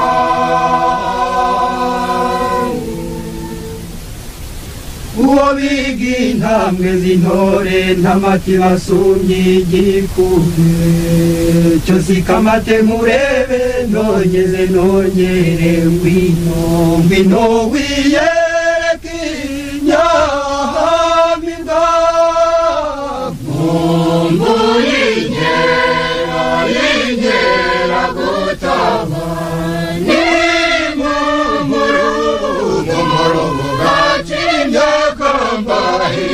imyato n'abakumbuye reka nzengwe mu nda y'izo ndatirwa gutabara zitahiwa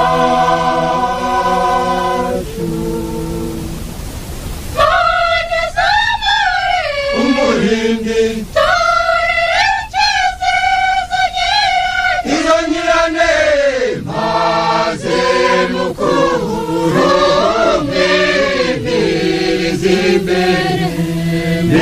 nenda gitero zose zirataba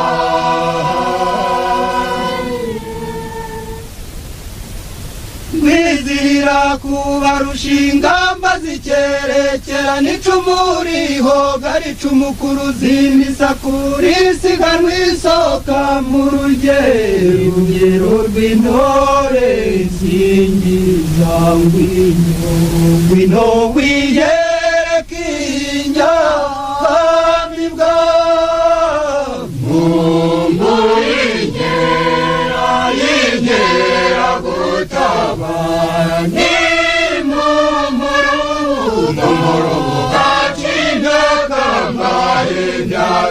n'abakumbuye reka nzengwe mu nda y'izo ndatirwa gutabara zitahiwa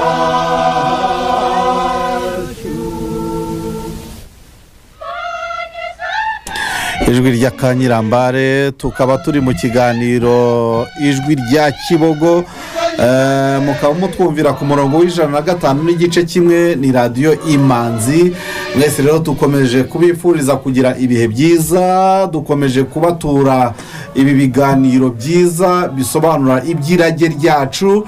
Twari duhiniye aho twavugaga tuti imanizo cyangwa se imana ishimwe kuko ah, mu irage ryacu nibura hari ibyahonotse eh, twatangaga urugero rw'ubunyano uko bwakorwaga kandi tuyihaniza tunihaniza twebwe ubwacu tuvuga ngo izina si ikintu gikwiriye ah, gusuzugurwa cyangwa se gufatwa uko kibonetse cyose kuko izina ryose umuntu ahabwa rifite uko ribarwa rifite um, n'ubutumwa cyangwa se intumbero rifite muri ubu buzima tukiri ahangaha ibyo ukwiye gukora byanze bikunze. Aho ngaho rero twari duhiniye reka mpe abataramyi bacu ingenzi muri twe bakomeze banamize. Mbere yuko ngabo rubanda abinjiza mu muti wo kuzana kibogo utungukira witwa gihanga mbere yuko agera aho hantu. Kandi twavuze ko nyine iby'ubwira ntitwabivuze ariko tuvuge noneho n'ibijyanye n'ibirari byabitse ibyo. Ntabwo twiye tuvuga ngo bamanuka mu ijoro mu mubare byandi bose bananditse. Ariko hari ikintu kimwe gikomeye cy'uko cya gihe kabeja abo kwa kabeja bakira impanuka bya kabiri babakiriye twavuze ko ku- kuri muhabura. Kubera ko abatwara mu ngano mu itorero. Noneho mu kirari cyabitse uko kuza kwabo nanone nyine ubwo bavuga ko bavuye mu ijuru. Sibyo? Turavuga mu buryo bw'imvugo ariko tuzi aho ishingiye twa ese ubwo kwa kabeja tugirana ikihe gihango gituma baragiraga n'ubu baragiraga n'ubwo buzare bwo kwakira ibimanuka byabo. Urumva nibo bafite irage rya gahima? Rya gahima yego. Byabo mu ibanze n'akazi kabo. Kuko nabo baje baje mu bihugu byabo. Kandi baje. Usiye kuza mu gihugu cyabo baje no mu irage ryabo. Eh. bagomba kuri batoza yego yego. Urumva? Ah. noneho ngo niyo mpamvu ujya bavuga ngo bava mu ijuru mu gihugu cyo hejuru. Bavuga ngo ni mu ijuru ariko tuba ugomba ukurikije twavuze ushobora kumva icyo kira ariko kiba ki- aho kiba cyerekeza ni uburyo kugira ngo babike ibyo bintu uko abantu batandikaga barabibika mu buryo bumeze nk'imigani bita mite yego ariko ifite ukuri ishingiyeho twabanje kubabwira. Mm. noneho ngo inyundo bafite ngo yarabacitse ngo yikubita uko bavuga ngo ku gisi cya muhabura. Eh, ngo ibishashi byayo bimwe ngo bigwa i buhanga i buhanga bwa Nzabika. hariya ibindi bigwa nkotsi na buhanga byo mu buyaga ngo ibindi bigwa nkotsi na, bikara byo muri buhanga ndara. Eh, aho ni ahantu hatatu ariko tukaba Eh, tuhazi yuko aho hantu mukuru mu mateka sabizize yahagendanye yahageranye na kiboko. Na ndetse mu buhanga bwa hariya kugira ngo yitwe nkotsi Mm. ni uko bahageze ngo bafite inka zabo bagiye kuritwa bikara. Yego. Bagiye kumureba noneho basanga ngo isazi zateye. Isazi ziteye zariye inka ngo bacana imbagara. Yego. Mu gucana imbagara haza umwotsi isazi ngo ziragenda. Baza kubona ko gusazi zirukanwa n'iki? Ni umwotsi. Ngo n'umwotsi ni nkotsi muri kwa nkotsi no kwa Ah, yego. Aho sabizeze ari kumwe na kiboko.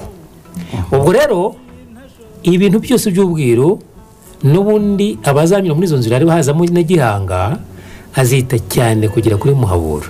Ah, azita kugera ku ihanga noneho ngo ya nyundo rero yaratarutse. Yikubita i buhanga ngo yaciriba urabona ko rya riba? Yego. ngahita ijya mu kiyaga cya gipfunira zimira. Eh, noneho niyo bita nyarushara rero. Nyarushara rero ngo iyo yagiye mu nda y'isi. Mhm. ubwira aho bushingiye bw'u rwanda rero ngo iyo nyarushara iyo izengurutse gatandatu mu nda y'isi. Isi itera igi. Ngo iryo gi niryo ribyara ibiriho muri icyo gihe ni byo bita rero ni ya ntuza ni ya ya ya big bang hari erezere eresorogike ereditoro erediberiye ingabi Ah. rimara rero imigani ya buri wese ingabi ikaba imigani y'ibihumbi bibiri n'ijana na mirongo itandatu bivuga ngo iteka y'imigani y'ibihumbi bibiri n'ijana na mirongo itandatu ku isi igeze nyine ubu turi muri irangiye. imyaka ijana- ibihumbi ijana na mirongo itandatu ibihumbi bibiri n'ijana na mirongo itandatu. Kuko umwaka munini ni ibihumbi bibiri n'ijana na mirongo itandatu kuko cumi na kabiri byo ni makumyabiri na bitanu magana magana cyenda makumyabiri. Mm. urumva ibyo tuzabyiga kwabyo Yego. ariko ngo twumve ko ubu niba dutungutse mu ngabe y'igicuba. Ariyo eri du verso turangije ingabe rwoga. Ariyo eri bita di poisson yego. Ni ukuvuga ngo burya isi iba iteye igi rigomba kubyara ibigomba kuba muri icyo gihe. Muri iyo piriyodi y'imigani bitandatu magana bi- bibiri magana n'ijana na mirongo itandatu. Ni ukuvuga ngo rero na rizazirwa ry'isi twavugaga muzabyumvaho kuko buri buriya n'ubwiru bw'isi yose. Ariko kuri ntitwari kubera ko avuga kugira ngo tuvire iruhande rimwe ibijyanye n'ibimanuka bya kabiri bituruka kuri muhabura aha ubwiru bwa hano ni ubw'isi yose urumva neza? Yego. Bikuvura ere ni nabwo buvuga igihe witwa umutabazi yeze agomba kuzira ku isi. Bwo Eh. buvuga neza. Koko? Neza nta kwibeshya niyo mpamvu ubwira bw'u rwanda bwita iki gitabo bita bibiriya kita- ntabwo kita bibiriya tuvuze bibiriya yaba ari makumyabiri na kane bibiriya ariko ubundi Eh. bayi- bayita ingengabihe ni ingengabihe niko yitwa mu ndasano Eh. ingengabihe Ah, ni agace k'ubwira bw'u rwanda. Niyo Eh, ibya bayibulu ni agace gato cyane k'ubwira bw'u rwanda. Urumva rero kuvuga ngo wafata bibiri ukayiyoboza ubwira bw'u rwanda cyangwa ibyo udasanzwe muri ukabita ubwira bw'u rwanda feke mm, mu gihugu cy'u rwanda ari agace ari ikinini kiyobora ako kantu. Wabaye nk'uwashaka gutunga isitimu mu zuba kugira ngo utunge isitimu ya- zo umurike mu zuba. ubwo se urumuri rwayo rwazagaragara kandi izuba niryo rimurika mu isitimu Yeah. ntumunamenye ko yaka. Yego. Eh, igende rero naho duhuze Yego. aho kugira ngo abone aho yinjirira gihanga. Gihanga niwo muti uza gukoreramo wa muti wose. Kubera iki? Igituma umukoreramo araza kubyara uwoza insibo zose. Yego. Muhuza sibo zose. zo aho ku buryo ama- amaraso ya kazigaba amaraso ya mungwe amaraso ya rurenge amaraso ya nyirankende amaraso ya kibogo amaraso ya kazi yose aboneka muri uwo muntu. Yego. Ari we kanyarwanda. Ni nk'uwakubaza ako kanya gato. Yashatse kubaza uzi imigezi iko ikora? Umugezi urawuzi yego. Ukomoka ku mvura z'ahantu hose mu turere zose zigenda zikusanya Eh. zigakora umugezi. Eh, dufite imigezi ituruka muri nili ituruka nibura n'iki yose. Wakubaza ati ni uwuhe mugezi? Hmm? uhuje imigezi yose yo mu rwanda uri. Ni uwuhe? Kuko imigezi ijya mu yindi mu yindi mu yindi mu yindi ni uwuhe mugezi? Rukomatanyo w'icyita rusange cya yose. Ni uwuhe? Si akanyaru se? No dusa akagera ukifitemo nyabarongo yego no cyese akagera ubu Eh, akagera niko kayakusanya kifitemo nyabarongo akagera niko ka- ni akagerayo nako gahora n'umuvumba ntuzi umuvumbaro wajyamo nako gahora ni n'umuvumba nayiro rero. No. Ni ni ni oya. Ni ingara y'aho akagera gahurira na muvumba. Iyo ni ingara Eh, uwo mugezi rero usohokamo. Niwo uhuje insibo niwo muhuza nsibo niwo uhuza imigezi yose y'akarere kose k'u rwanda aho kari itaka ryagiye muri yakunkumukiyemo byinjirira aho akagera gahurira n'umuvumba uwo mugezi uvuka. Niwo muhuza ki? Migezi. Eh, niyo mihuza imigezi yose y'u rwanda. Ni- n'imvura zose za- z'akarere kose n'umurenge wose. Urabyumva ubwo rero dukeneye umuntu umeze uhuza amaraso ariko yakanariza yose n'imwe isigaye yose yose yose. iyi mitsi akaba yose muhuza ikamuhurira sibo. Iraso ryose. Ryaza siba icyenda. yose. N'izindi agiye kuzabyara nawe. N'icyenda yagiye kuzabyara. Zikaba cumi n'umunani.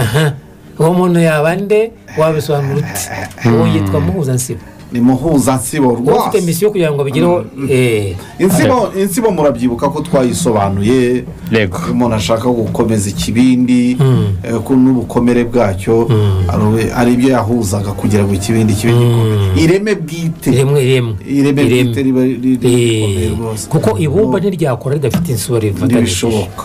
Aho twagiye kwa muhuzansibo uwo muhuza sibo rero yaravuze ni kanyarwanda ariko kanyarwanda afite aho avuka kwa gihanga. Waba ugomba kumubyara uri Eh, kandi gihanga we ni umuhuza ahubwo wa bene imana utuma ibyo bizashoboka. Eh, eh, irasano rero iravuga ngo mbere y'uko gihanga wagombaga kuba umuhuza wa bene imana yima ingoma y'ibuye ry'imana. Ya yindi yasizwe na gahima. Gahima ya- yahishwe mu gisigara i gasabo. Abasekuru be bari baravuze ko inkanda ya gasani yamanukanywe na kibogo nitaboneka bizaba ari ishyano rikomeye. Rizatuma umwami nkubashyerezo aremba ubundi bwami butari ubwatangajwe butari ubwatangijwe n'ibimanuka bya mbere. Ibi ni byo byatumye kazi ise wa gihanga aba umutasi mu gihugu cya mungwe. Twarabibonye. Yego. Agamije kumenya aho inkanda ya nyirankende n'iya gasani zitabye. Amaze kuhamenya yajyanye yo n'umugore we w'umugabekazi nyirarukangaga rwa nyamigezi ya kabeja. Ubwo nyirarukangaga yari ku gise agiye kubyara. Abyara nde gihanga byabaye ngombwa ko isuha y'impanga yari atwite imenekera ahatabye ku nkanda ya gasani na nyirankende burya gihanga ntiyavutse wenyine. Hari impanga turabivuze Eh, yari impanga n'undi. Mm. iyo soha niyo yavutsemo impanga menaganza izina rya mbere rya birari. Aje kwima izina rya gihanga ngo ijana na birari. Iby'iyo mitsindo birangiye kazi n'abareba kure be bakomeza kugenda ibihugu bareba ahandi hantu hagomba kubonerwa imitsindo nk'iyo baboneye ku rutabo rwa nkanda. Yego. Bavuye mu buyenzi bazamuka bita imisozi amazina mashya bagamije gutambuka abo bari eh, bamenye ko bazatsinda ibihugu maze bakayitirira. Abo ngabo bazagaruka ku- kudukorera yego yego Eh, ba bandi bi- bi- ba rubunga ba rubunga barayita ngo barwitije iminsi niba abagabo ko yabatanze mbere ko bagera Eh, Eh, bazatsinda igihugu bamaze no- baka- bakacyiyitirira Mm. ubwo byari nko gutanga abagabo kugira ngo abazaba bariho bazamenye ko igihugu cyahozeho muri gakondo yacyo mbere y'uko kigarurirwa n'amahanga akomeye iyo niyo mpande y'akanyirambara aka kanya. Ni muri ubwo buryo waje kugera ku mugezi wawita akavuguto aho ni iwacu ugenda hazi hepfo hariya nyaruguru Eh, hafi yawo bahabona wa mubuga mwiza umwe kibogo yabanje gucaho ingando. Maze bawita kibeho. Ubwo ni kazi uzabyara gihanga ubwo Eh. dusubiyemo muri make bahasanze n'isoko y'amazi meza bayita akazi. Iracyahari ni yayindi yo mu gishungu bavomamo ku cyumweru narayumvishe mu- mu- mu- mukavuga. Aho rero kazi yahubatse urugo rwiswe urw'umwamikazi nyirarukanga nyina wa gihanga. Ariko uzi ko na- nigeze numva iwacu ba- hari abatukanaga igitutsi ngo kanywe kazi. Ako ni akarusasa. Akarusasa ntabwo ari akaki Nari yigize ngo akari aka- hariya kazi karusasa. Yego. Kangwe n'umugabo witwa nzobya. Eh. wo mu yenzi. Ah. ese yego. Noneho ngo abagabekazi babaga ku mwamikazi ikibeho muri nyaruguru bagenda bimura ingando bitewe n'ibyo shyerezo yaberetse bizavogera gakondo. Noneho bakayimurira icyo bita umurwa. Imirwa yo kugira ngo bashyire imitsindo. Yego. Ibyo babikoraga bara- barabikoraga barangiza bati impanga uzabyara birari impanga uzabyara birari na gihanga niyo nibo bazasubiza agasana icyubahiro. Mm. bagasubiza shyerezo icyubahiro agaterura izina rya wa mwana amahanga yose azakirirwamo. Komeza nyirishe noneho noneho unabisobanure kuko eh, biri mu ruri. Biri mu ruri. Biri mu urumva biri mu ruri. Eh, biri mu bitadutwikira. Eh. yego. Mm. iyo mihango yose kazi. Eh, na eh. eh, igamije- yari igamije iki? Kuko wari nyine ngo ibyo umuhango babikoraga barangiza bati iyo mihango bakoraga imihango yose bakoraga iyo ngiyo y'akazi na n'umugore we nyirarukangaga. Baravuga bati impanga uzabyara kuko yazitwite nyine impanga uzabyara birari na gihanga ari zo birari na gihanga. Nibo bazasubiza agasa n'icyubahiro Eh. birari na, na, na gihanga. Ngo bazagusubiza ba- bagasubiza shyereza icyubahiro. Urumva? Agaterura izina wa mwana amahanga yose azakirizwamo. Ah, kumuterura izina ki- bavuze amahanga azakirizwamo. Ngo abagabekazi wanga tuje mu musobanuro ubwo naje mu bandi. Bandi yego. Nisengera ku ngingo yacu nashyizemo komantere. Ariko ubwo akazi nabo bari kumwe warangizaga ibyabajyanye barakubanutse twaravuze ejo ngo bazaberekeza mu mubari bari mu nzira baza kugera ku musozi maze bareba kure bamenya ko aho hantu hazateza u rwanda ikibazo. Ibyo twaravuze bya safi yego. Ariko noneho ye. Gihanga twabonye ko yaje kuvuka rero. Ngo gihanga umuhuza w'abana b'imana wahanuwe na gahima noneho. Aravuka. Ko twamaze kubona ko nyine bamaze kumenya yesu w'abana baravutse. Uwo mwana arimo gihanga ni we uzagarura amahanga kuri shyezo na gasani. Ibyo byose birangiye menagaza na birari bajyanwa mu mubare nawe kuko bari bavukiye muri iyo majyepfo. Eh, yego niyo wakoze ngo gihanga avukiye ntuzavuge ye yavukiye muri nyaruguru. Aho. Urumva ko isuha imaze kumeneka. Nayo mpamvu Bahise n'ubu bavuka ari nyine. ku butaka butagatifu. Eh, urumva? Yego? Eh, Oh. urumva? Ngo menagaza na birari bajyanwa mu mubari mu gihugu cya sekuruza kabesha. Ngo aho rero ni ho menaganza na birari barerewe kugeza bakuze igihe kigeze abahanuzi biswe ubukara. Yego. Eh, babazengurutsa ibihugu bagamije kubabonera imitsindo izatuma baba abahuza b'abana b'imana. Urumva ko ubukara harimo abukara twagiye tubona ba bandi barimo gahu. bagahu Bagahu. twabonye mu bisekuru by'ibanze twarababonye. Oya. Twarabonye by'ibanze. karabiri twarababonye eh, gahu n'agakara twarababonye kuri bene menge. Ah, twarababonye yego. gahunda gakara Eh, twarababonye iyo utabigerekere- iyo utabigerekeranya utyo zina rikubye Eh, twarababonye mu bisekuru by'ibanze mm. none nibo bamuyoboye rero. Bagenda bamwereka bya bihugu na za nganje z'imitsi naho zagiye. Yego. nawe agomba kuhazenguruka. Urabyumva? Bajyana gihanga bamwereka. Mm. ariko baje kubikora bari kumwe na se yari kumwe na Irahara na mbere. Mbere yaje se yabanje kuhamuzengurutsa akazi. Yego. Nyuma aza kuhazengurutswa n'abariye na buriya bukara abareba kure b'ubu- b'ubukara noneho rero ngo igihanga yagombaga kuba umwami anyuze mu nzira ya rubanda. Noneho birari akaba umwami anyuze muri rubanda. Hari unyura ku karubanda ugaragarira amaso. Yego. Hakaba n'undi unyura mu bwiru. Mu bwiru. Umwe anyura muri rubanda uwo mu nzira ya rubanda? Yo ku karubanda ah, n'uwo muri rubanda. Eh, urumva n'ubu tuvuga hari igihe tuvuga muri bwo karubanda bw'amateka afatika n'ifatika mm, yego. Ariko aka twanabivuga ni uburyo bw'ubwiru buturuka muri rubanda. Urumva muri sipirico ibindi bikaba fiziko. Yego. Ngo bitewe n'uko ibimanuka bya mbere byari byaranze byarasa- byari bisanzwe bishyikira n'ibimanuka by'ibanze bagamije kubonera hamwe umuhuza w'abana b'imana Mm. byatumye abareba kure mu bimanuka by'ibanze ari bo gahu gakara na kazigaba. Hari kazigaba buriya uza kuza ariko ari izina ryo mu asubiramo. Bucurabwenge wa Yego. kabiri. Eh, ngo bayobora gihanga na birari aho bagombaga gukura imitsindo izabashoboza kwima ingoma y'ibuye ry'imana. Mm. ya yindi Eh, iri eh, ahandi eh. kuko byari bizwi ngo uzaza azayima. Wari utegerejwe. Nka wakunda abantu bategereje yezu mu myaka ibintu byose yasigaye hehe mu gisigara kigasaba kigasaba kigasa eh, yego.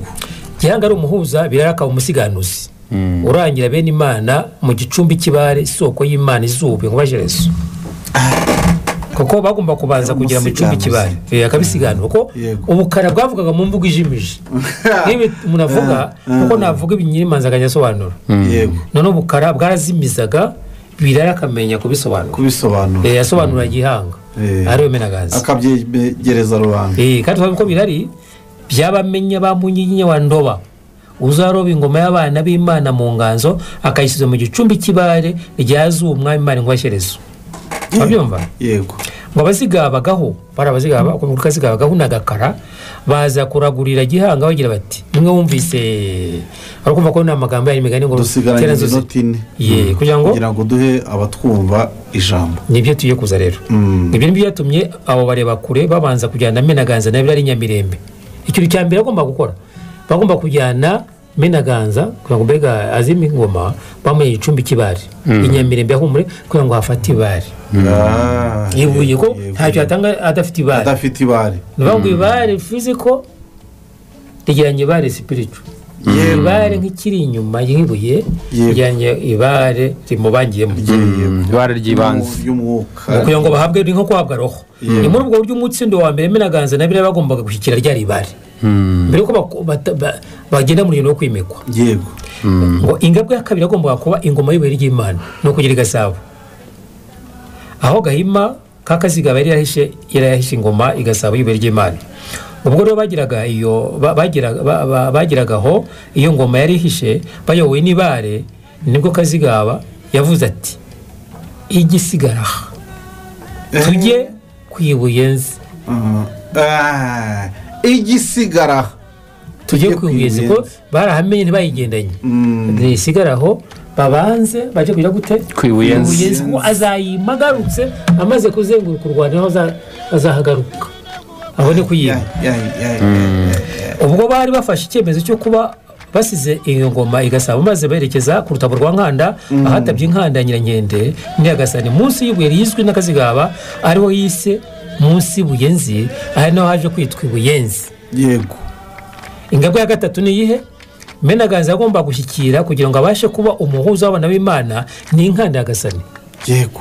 Yari ku rutabo rwa nkanda mu buyenzi niyo mpamvu abareba kure? Igerekera- igerekeranye niyo mpamvu abareba kure? Bajyanye gihanga na birari ku rutabo rwa nkanda aho isuha bavutsemo yamenekeye kugira ngo bashyikire izo nkanda. Eh, zombi bazihakura zombi ibyo ni byatumye gihanga n'abahanuzi be bajya ku rutabo rwa nkanda mu gihugu cya rwamba umwami ukomoka kuri mungwe bajyanywe no kumenya amabanga yaho by'umwihariko bagomba gushyikira za nkanda ya nyirangende nyagasani Ah. ubwo rero ko twapfundikira aho aka kanya mumenye ko mbere yuko gihanga yima burundu igomba kugira ingabwa eshatu. Iyo ku gicumbi cy'ibara agashyikira ibare iyi igasaba gushyira ingoma y'ibere ry'imana no kuzana no gutaburura gutwara za nkanda kuzihavana eshatu za zindi. yamenewe isuha ariya nyirankende n'iya gasani ya biganisi reka dupfundikiraho ipfundo icya kabiri ngo cyari kugira gute? Ni ingoma y'ibere ry'imana. Ah ingoma y'ibere ry'imana ya nawe yagombaga kuyi- kuyigira ayisigaho. Yego. Aha. Mu gihe rero eh, ingabo ya rubanda cyandika reka tubabwire ko mwumva radiyo imanzi ivugira ku murongo w'ijana na gatanu. N'igice kimwe tukaba tugeze muri wa mwanya nshuti zacu wo gusangira namwe ijambo. Eh, dutangira iki kiganiro twavuze ko kwihamagara tukiyikiriza byaba ari ishyano ikindi kandi no kubiba tutazi imbibe tubibamo uko imeze na byo byaba ari ibindi. Reka mbabwire ko mudu- wari ugiye kuvugaho ngiye kubabwira ko baduhamagara. Urarorayo Eh, ndarorayo ni kuri zeru karindwi umunani umunani mirongo itatu na gatatu gatanu gatandatu gatanu icyenda. hanyuma na zeru karindwi gatatu karindwi gatandatu zeru icyenda gatandatu icyenda gatandatu. Ndabizi byose wabikoze umpima Eh. ariko ntumbonye. Eh. halo? Wiriwe neza? Mwiriwe Nturo. ndavugana eh ntu Yego Nturo. yampaye inka yanjye Ni- rubanza bigwi niko ye ye ye ye umva ntacyo nakongeraho uri amahoro Mwiriwe Nturo. yego yego izo nshuti z'Imana y'u Rwanda. bari aho baraganje ntubabona ba- barahari.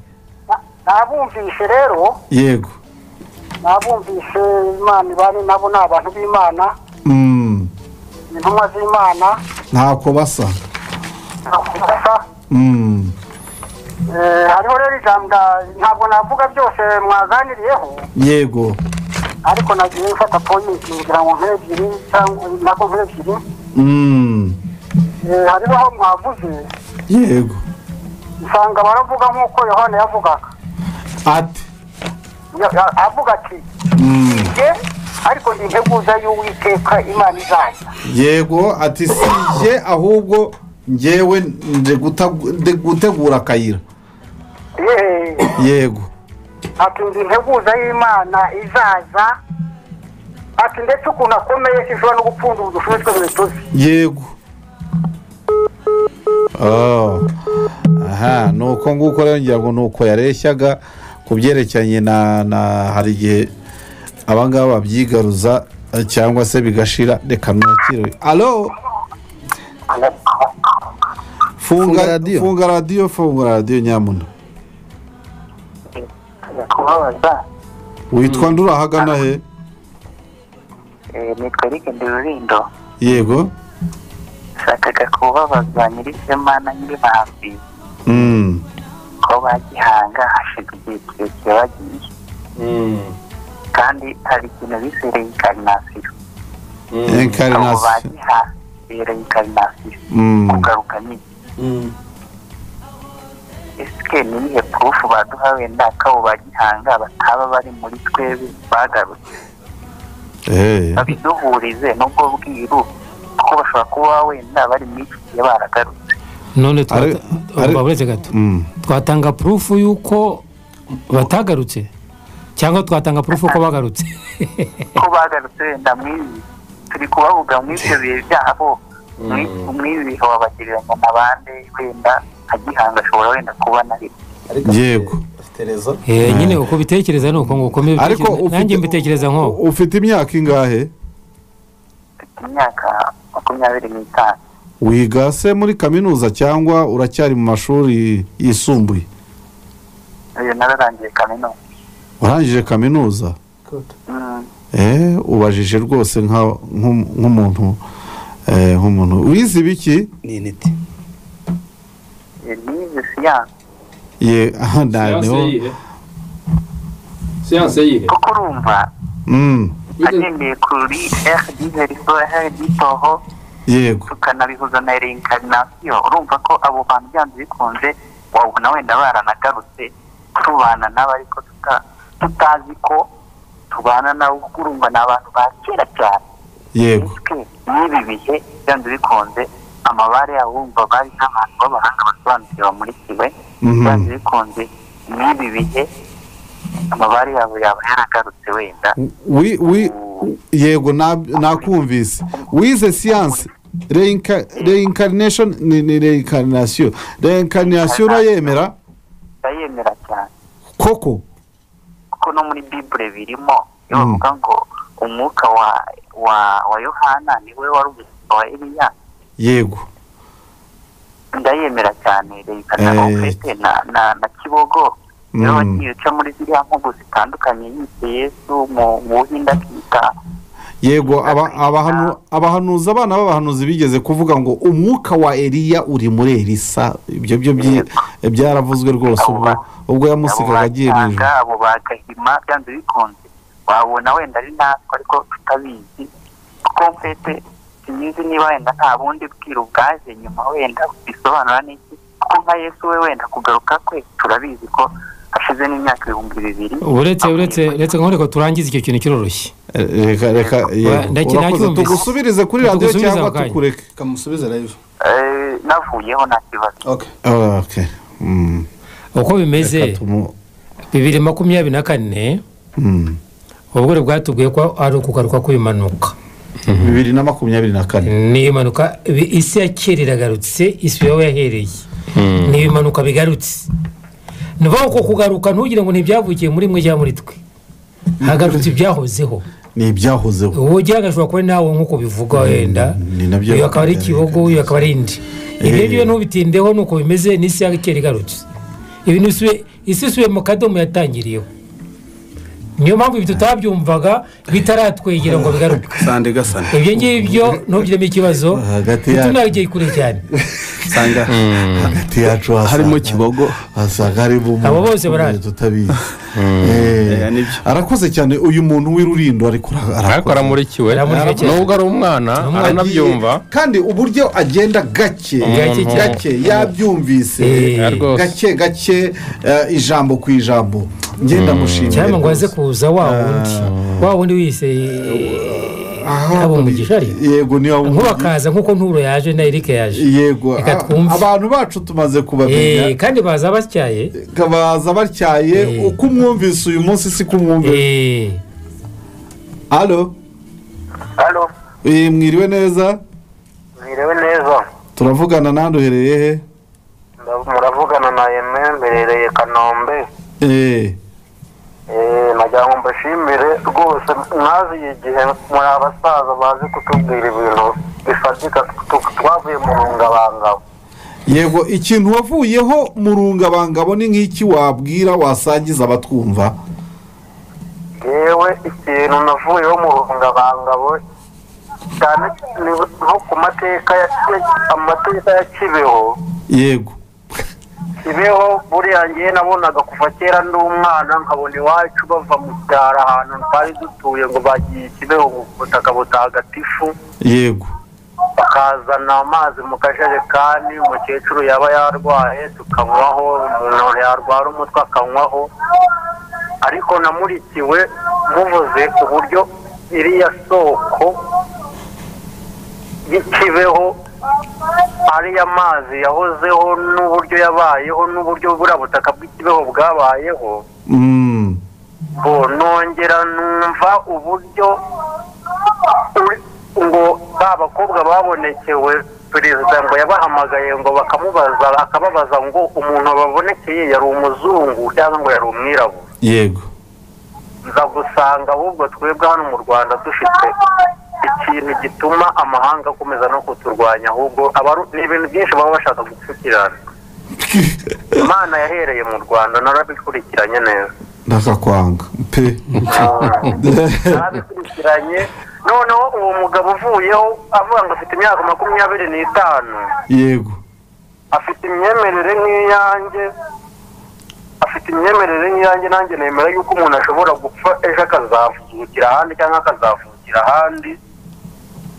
Abo basaza nanjye uko nabumvishe tugitangirana nta gihe gishize mbumvishe yego. Ariko numvishije muri abantu bashobora kuba n'ubundi ari abantu bariho ku isezerano ry'imana imana twebwe tuzi apana iyo abazungu banditse mu bitabo. Turyitwa irage irage rwose bariho ntabwo ari isezerano n'irage Mm. yego kuko yego. isezerano isezerano ni kontara agreement. Eh, ni agirimenti hanyuma rero twebwe turiho kubw'irage Eh, Yego, yego. eh, turiho ku bwa kamerano ntabwo turiho ku bwa karemano yego ikintu nabisabira iki kiganiro ntigigacogore ntiki- ntimukagicutse umaze kumva ibiganiro bingahe? Twaratangiranye cyangwa wabifatiyemo hagati? Shami we natangiye kukumva ukiri kuri ya radiyo ngufi yego. Aho ugiye hose ndagukurikira. Iki kiganiro? Iki kiganiro Eh, umaze kumvamo bingahe? Maze kumva aho nyumviye ino radiyo maze kumva ibiganiro bine Eh, si bibi rwose. Eh, si bibi. Twaratangira. kumva bine komerezaho eh, maze kumva ibi- ibiganiro bine. Nuko nu- Muzadusobanurire. yego urakoze cyane. muzatuzengurutse igihugu cyose rwose muzatuzengurutse. Twaragitangatanze pe. Eh, Mm. alo? Yes muraho neza abakiza muriho? Muriho muriho? Ndiho ndashima karama yego ndakumva urinde urahagana he Bara- baramuhamagaye. Hari umuntu umuhamagaye. Baza ari nko kugikwa alo? Uyi muraho? Ni amahoro ni amahoro y'imana kamerano tura cyane. Atari karemano. Mucyura inganji mu rwa gihanga ngoma ijana turavugana nande ari he? Nitwa habumugisha joasi cyangwa Ah. yowasi aha yewe cyayime nkaba ndemwe- ndemwe mu migabane umunani. Hari igihe njya nganira n'abantu basa n'aho bafashijwe muri ya mana kamerano yego. karemano bakavuga yuko umuntu ngo atagarutse mu mana ya yindi y'ibanze adashobora kugira aderese ngo aramutse yenda apfuye yabura uko abasha guherekeza. Yego. Noneho nkababwira ntese niba aderesi ibaho?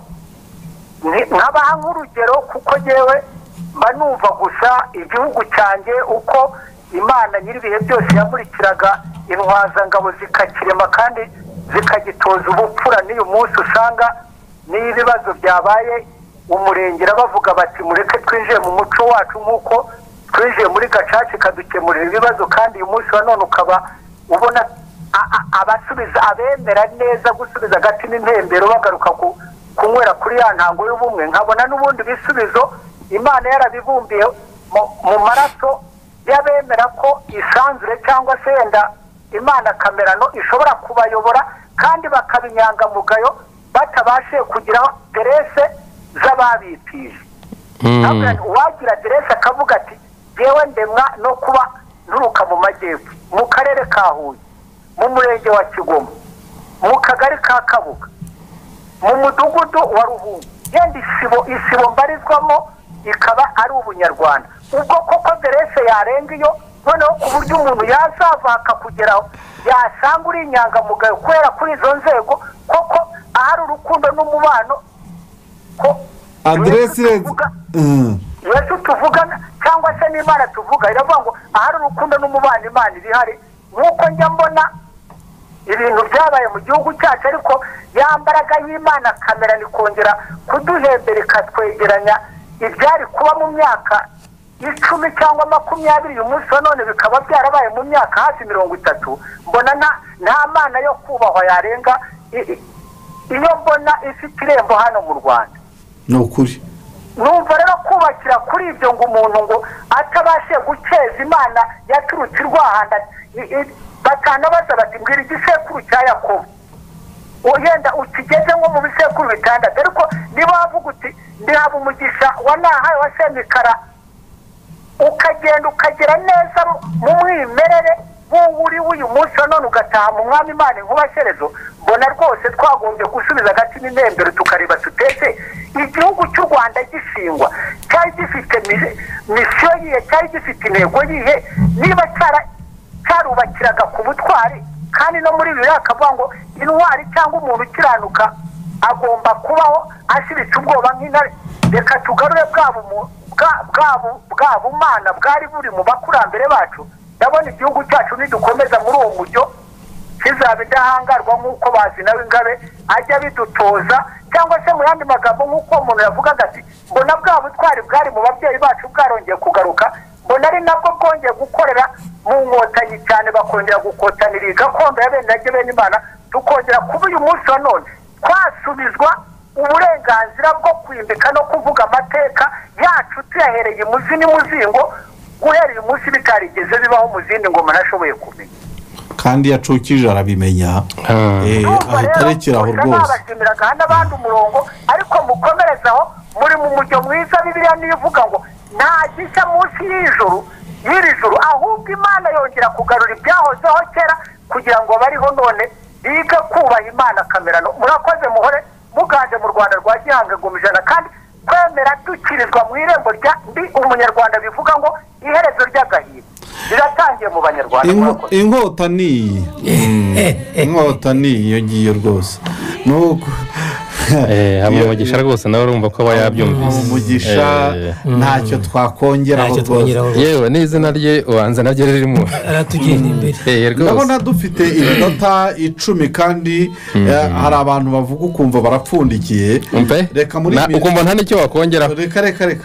Muri iyi minota icumi rero reka tuyikwiririkanye tuyiganireho twumve ibyo abantu bavuze tubikoreho. eh, sinavuga ngo ubugororangingo kubera ko ibintu abantu bavuze bavuga bya reincarnation bavuga bati wasanga no muri iyo sitidiyo harimo ba runaka tukaba tutabizi ariko uyu muntu ukomanga reka tubanze tu- tuta alo muriho muriho. Niho ndashima imana. Mm. nkagira ngo njye hanze ndongera njya hanze kuri telefone ntabasakuriza yitwa nde? Alo? Ye turakumva. Siberi yego. Arimo arakinga igipangu. Nshimiye imana nshimiye imana filiberi rw'irabwoba rwa kwitonda wa rwabukwisi wa ntiha bose wa karema Mhm. abandi mu mutaramyi byahamye Hmm. nuko nuko. Eh, ndabashimira rero kandi mbamara n'impungenge. Ku ijambo mwari muvuze ati baba babyumvise tuba twabyumvise tuba twabiriye tuba twabinyoye tuba twacuruye tuba twa nta n'icyo twakwishinja kuko namwe ntacyo tubashinja kuko muba mwatubwiye ibintu ibi dukunda kandi dukeneye yego Ah, gusa noneho hari ikintu ngeze gukomozaho kijyanye n'amazina. Burya duca umugani mu kinyarwanda ngo izina ni ryo muntu Mm. Hmm. izina ni ryo muntu koko kuko mwari mwashingiye ku mazina kuko tugomba kuyaha agaciro kuko na bibiri irabivuga ngo nyereka inshuti yawe ndakubwira uwo uri we Mm. Ah, icyo gihe nenda kubasaba n'icyifuzo kandi noneho nkuriyeho na benshi Hmm. Ah, mwadufasha mwokabyara mwe mwokagira inka mwe nk'aya mazina abanyarwanda tuyita ngo ni amakirisitu Mm. ngo ni byibura buri munsi buri munsi mukaba mudusobanurira nk'amazina nubwo yaba atatu. Y'amakirisitu se? Y'amakirisitu Ah. Nk'ubu- nk'ubu ni urugero nk'ubu ni urugero dore impamvu. Hmm. dore impamvu ugenda kubisaba nabo ba- twabyifuje. Mhm. hari ukuntu umuntu yumva izina runaka akavuga ngo kariya kazina kitwa n'umuntu w'umukire cyangwa se ririya zina ndumva rivugitse neza kandi ntazi icyo risobanuye. Yego. Agahita aryita umwana we. Nk'ubu ni urugero ufite imyaka igera muri mirongo itatu nitwa izina uretse ko hari umuntu wigeze gusa nk'unsobanurira ariko sinabyumva neza ariko sinzi ngo rivuze iki. Yego. Umuvaye n'umukoroshami imbabarira umfashe wahita unsubiza nonaha wampa igihe ntasobanurire Ese muravunwa n'iki? Njye numvaga numvaga ibyo ngibyo bitakatuvuniye kuko si n'ibyacu ahubwo tukavunwa N'ayacu. n'irage ryacu. Eh, ahubwo se, ahubwo amazina yacu ahubwo rukwiye kuyibagirwa ry'abandi bakwitije. Si eh, niba witarura ahubwo bakwiye kumenya izina ryawe rya kinyarwanda mubwira risobanuye iki? Ibare ryaryo ni iri ni cyo bakwiye kumenya ubundi ubwo sibyo naho ubundi ibindi ibyo- byo- ibyo byikwirwa binakuvuna rwose ibyo uzabibaza abo ngabo bakwitije ubundi none se Eh, ni ngombwa ngo abo nzabyara nanjye iryo zina nzaribaye si Oya. ngombwa hari hari ubigutekereze ntabwo ari ngombwa rwose. Rwose mbikubwiza ukuri si So- ngombwa. Sokuruza yari arifite se? Hari iryo yari afite? Numvise una- unayaza amazina ya so na sokuru na sokuruza. Wa- wa- wakoze nkabo ndayazi ndayazi. Rwabugira yitwaga kigeri wumvise wumva yitwa manweri cyangwa cyangwa rwiza kure kwa mutaneshwa wanze kubitiza ngo nimutanyitiza noneho rero Mm. urumva ubwo busabe bwanjye se bw'uko mwajya mudusobanurira. Yenda ku buryo n'umuntu yarinda reka reka niba wabibaza i roma niba bafite ibyo bintu. I roma niba bafite amazina icyo asobanuye niba baratini twebwe turavuga iby'iwacu. Wowe ukazana iby'iwabo. Reka nkubwire rero. Ntidushaka gukomeza kurorongotana tutazajurajura mu bikari by'iwacu. Tukazazindanira kwa nyamuzindi Eh, ahubwo reka nkubwire. Iyi iyi iyi iyi radiyo kubera ko ikorera benshi eh, hari aba- hari abana b'abakobwa n'abahungu bajya basobanura bene ayo mazina bakayabasobanurira abantu tuzareba ko mu biganiro byabo ba- byasobanurwamo ariko iki iki- iki ngiki cyo twaba tugiye kugitera. iki cyo twaba tugiye kugitera inzarwe. Mm, ndakurahiye rwose ibyo byo sindi bubikore birumvikana ariko twe twari twatekereje dusanga n'impamvu tugomeza kugendera muri icyo kigare ari uko tuba tutakaramye ugendere ndumva hari umuntu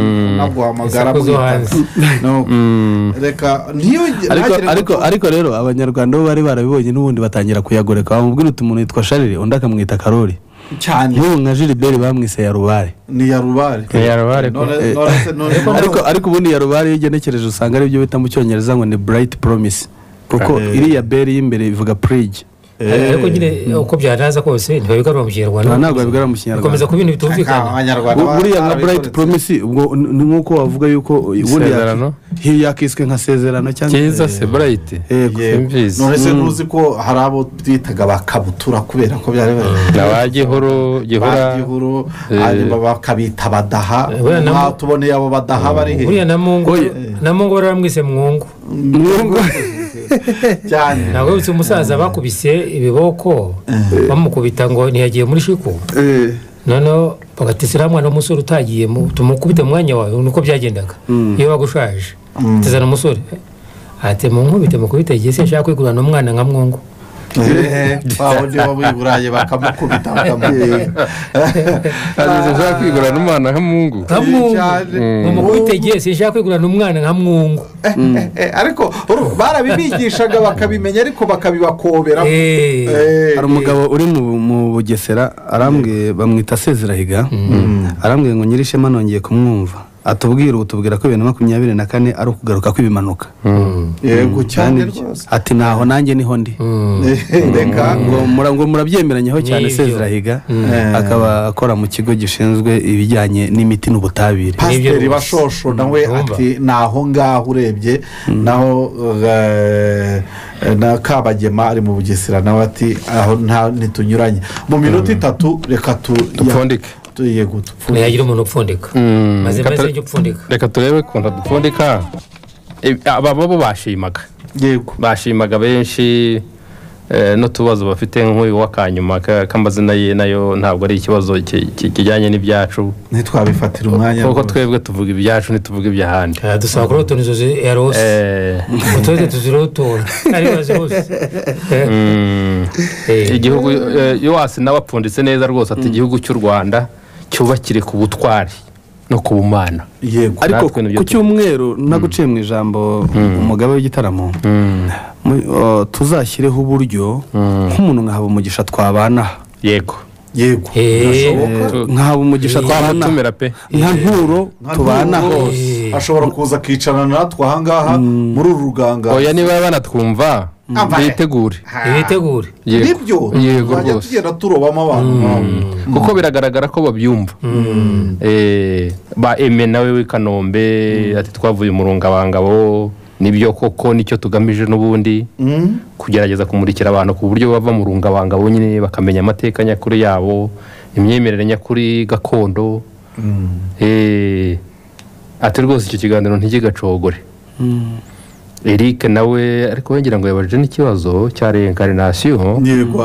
Eh, yavugaga ati ibyo wasanga. Eh, ati wasanga buriya gihanga rwose ari reincarne cyangwa se ari yaraje mu bandi bantu. Nibyo ibaho na yo. N'abo twumvise Eh, bagahinda ibaho rwose eh, mu mabare. Ariko ni mu buryo bw'ibare. Mu buryo bw'ibare si ku mubiri. Eh, ni mu buryo bw'ibare kandi n'ibihe birahinduka. Twe rero twahereye ku mateka ya kera tugenda tuza hino eh, uyu gihanga twavugaga ni wa wundi menaganza nyine. Yego. Wahanze u rwanda. Eh, ejo rero tuzamurusha akarongo tuvuge ukuntu yaruhanze kuko tuvuze ibintu bitatu. Ubu ngubu biriya bintu yagendaga ashaka yego. Eh, yabanje gufata ibare. Eh, mu ku ibare rya ngarama. Oya igicumbi kibare yego. Ku Eh, ho ku gicumbi cy'ibare. Arangize eh, ajya ku gasabo. Gushaka ingoma y'ibuye ry'imana? Rimwe gahima yasize Eh, rimwe yayahasize Mu Ah, hanyuma rero ajya muri nyaruguru agiye gushaka inkanda ya gasani. Eh, ubwo rero duratangiye ingendo ze ejo yenda tuzabica akarongo ariko aratangiye nyine ku- ku- kurema u rwanda. Guhanga u rwanda. Nicyo rero uyu munsi twa cyari icyigisho cyacu kuko n'ubundi gihanga mu bimanuka bya kabiri eh, ari mu mateka azwi. Asanzwe azwi. Ariko basobanura uko bishakiye. Yego. Twebwe tuzabiva imuzingo tujye mu bwiru bwabyo tubereke nyine uko yaremye u rwanda. Murabizi ko ari we uzabyara akanyarwanda muhuzasibo muhuzasibo muhuzasibo ni naho ruzingiye. Yego. aha ese wacugirizaho? Naho ruzingiye. Impanda ya kanyirambare. Radiyo imanzi iravugira ku murongo w'ijana na gatanu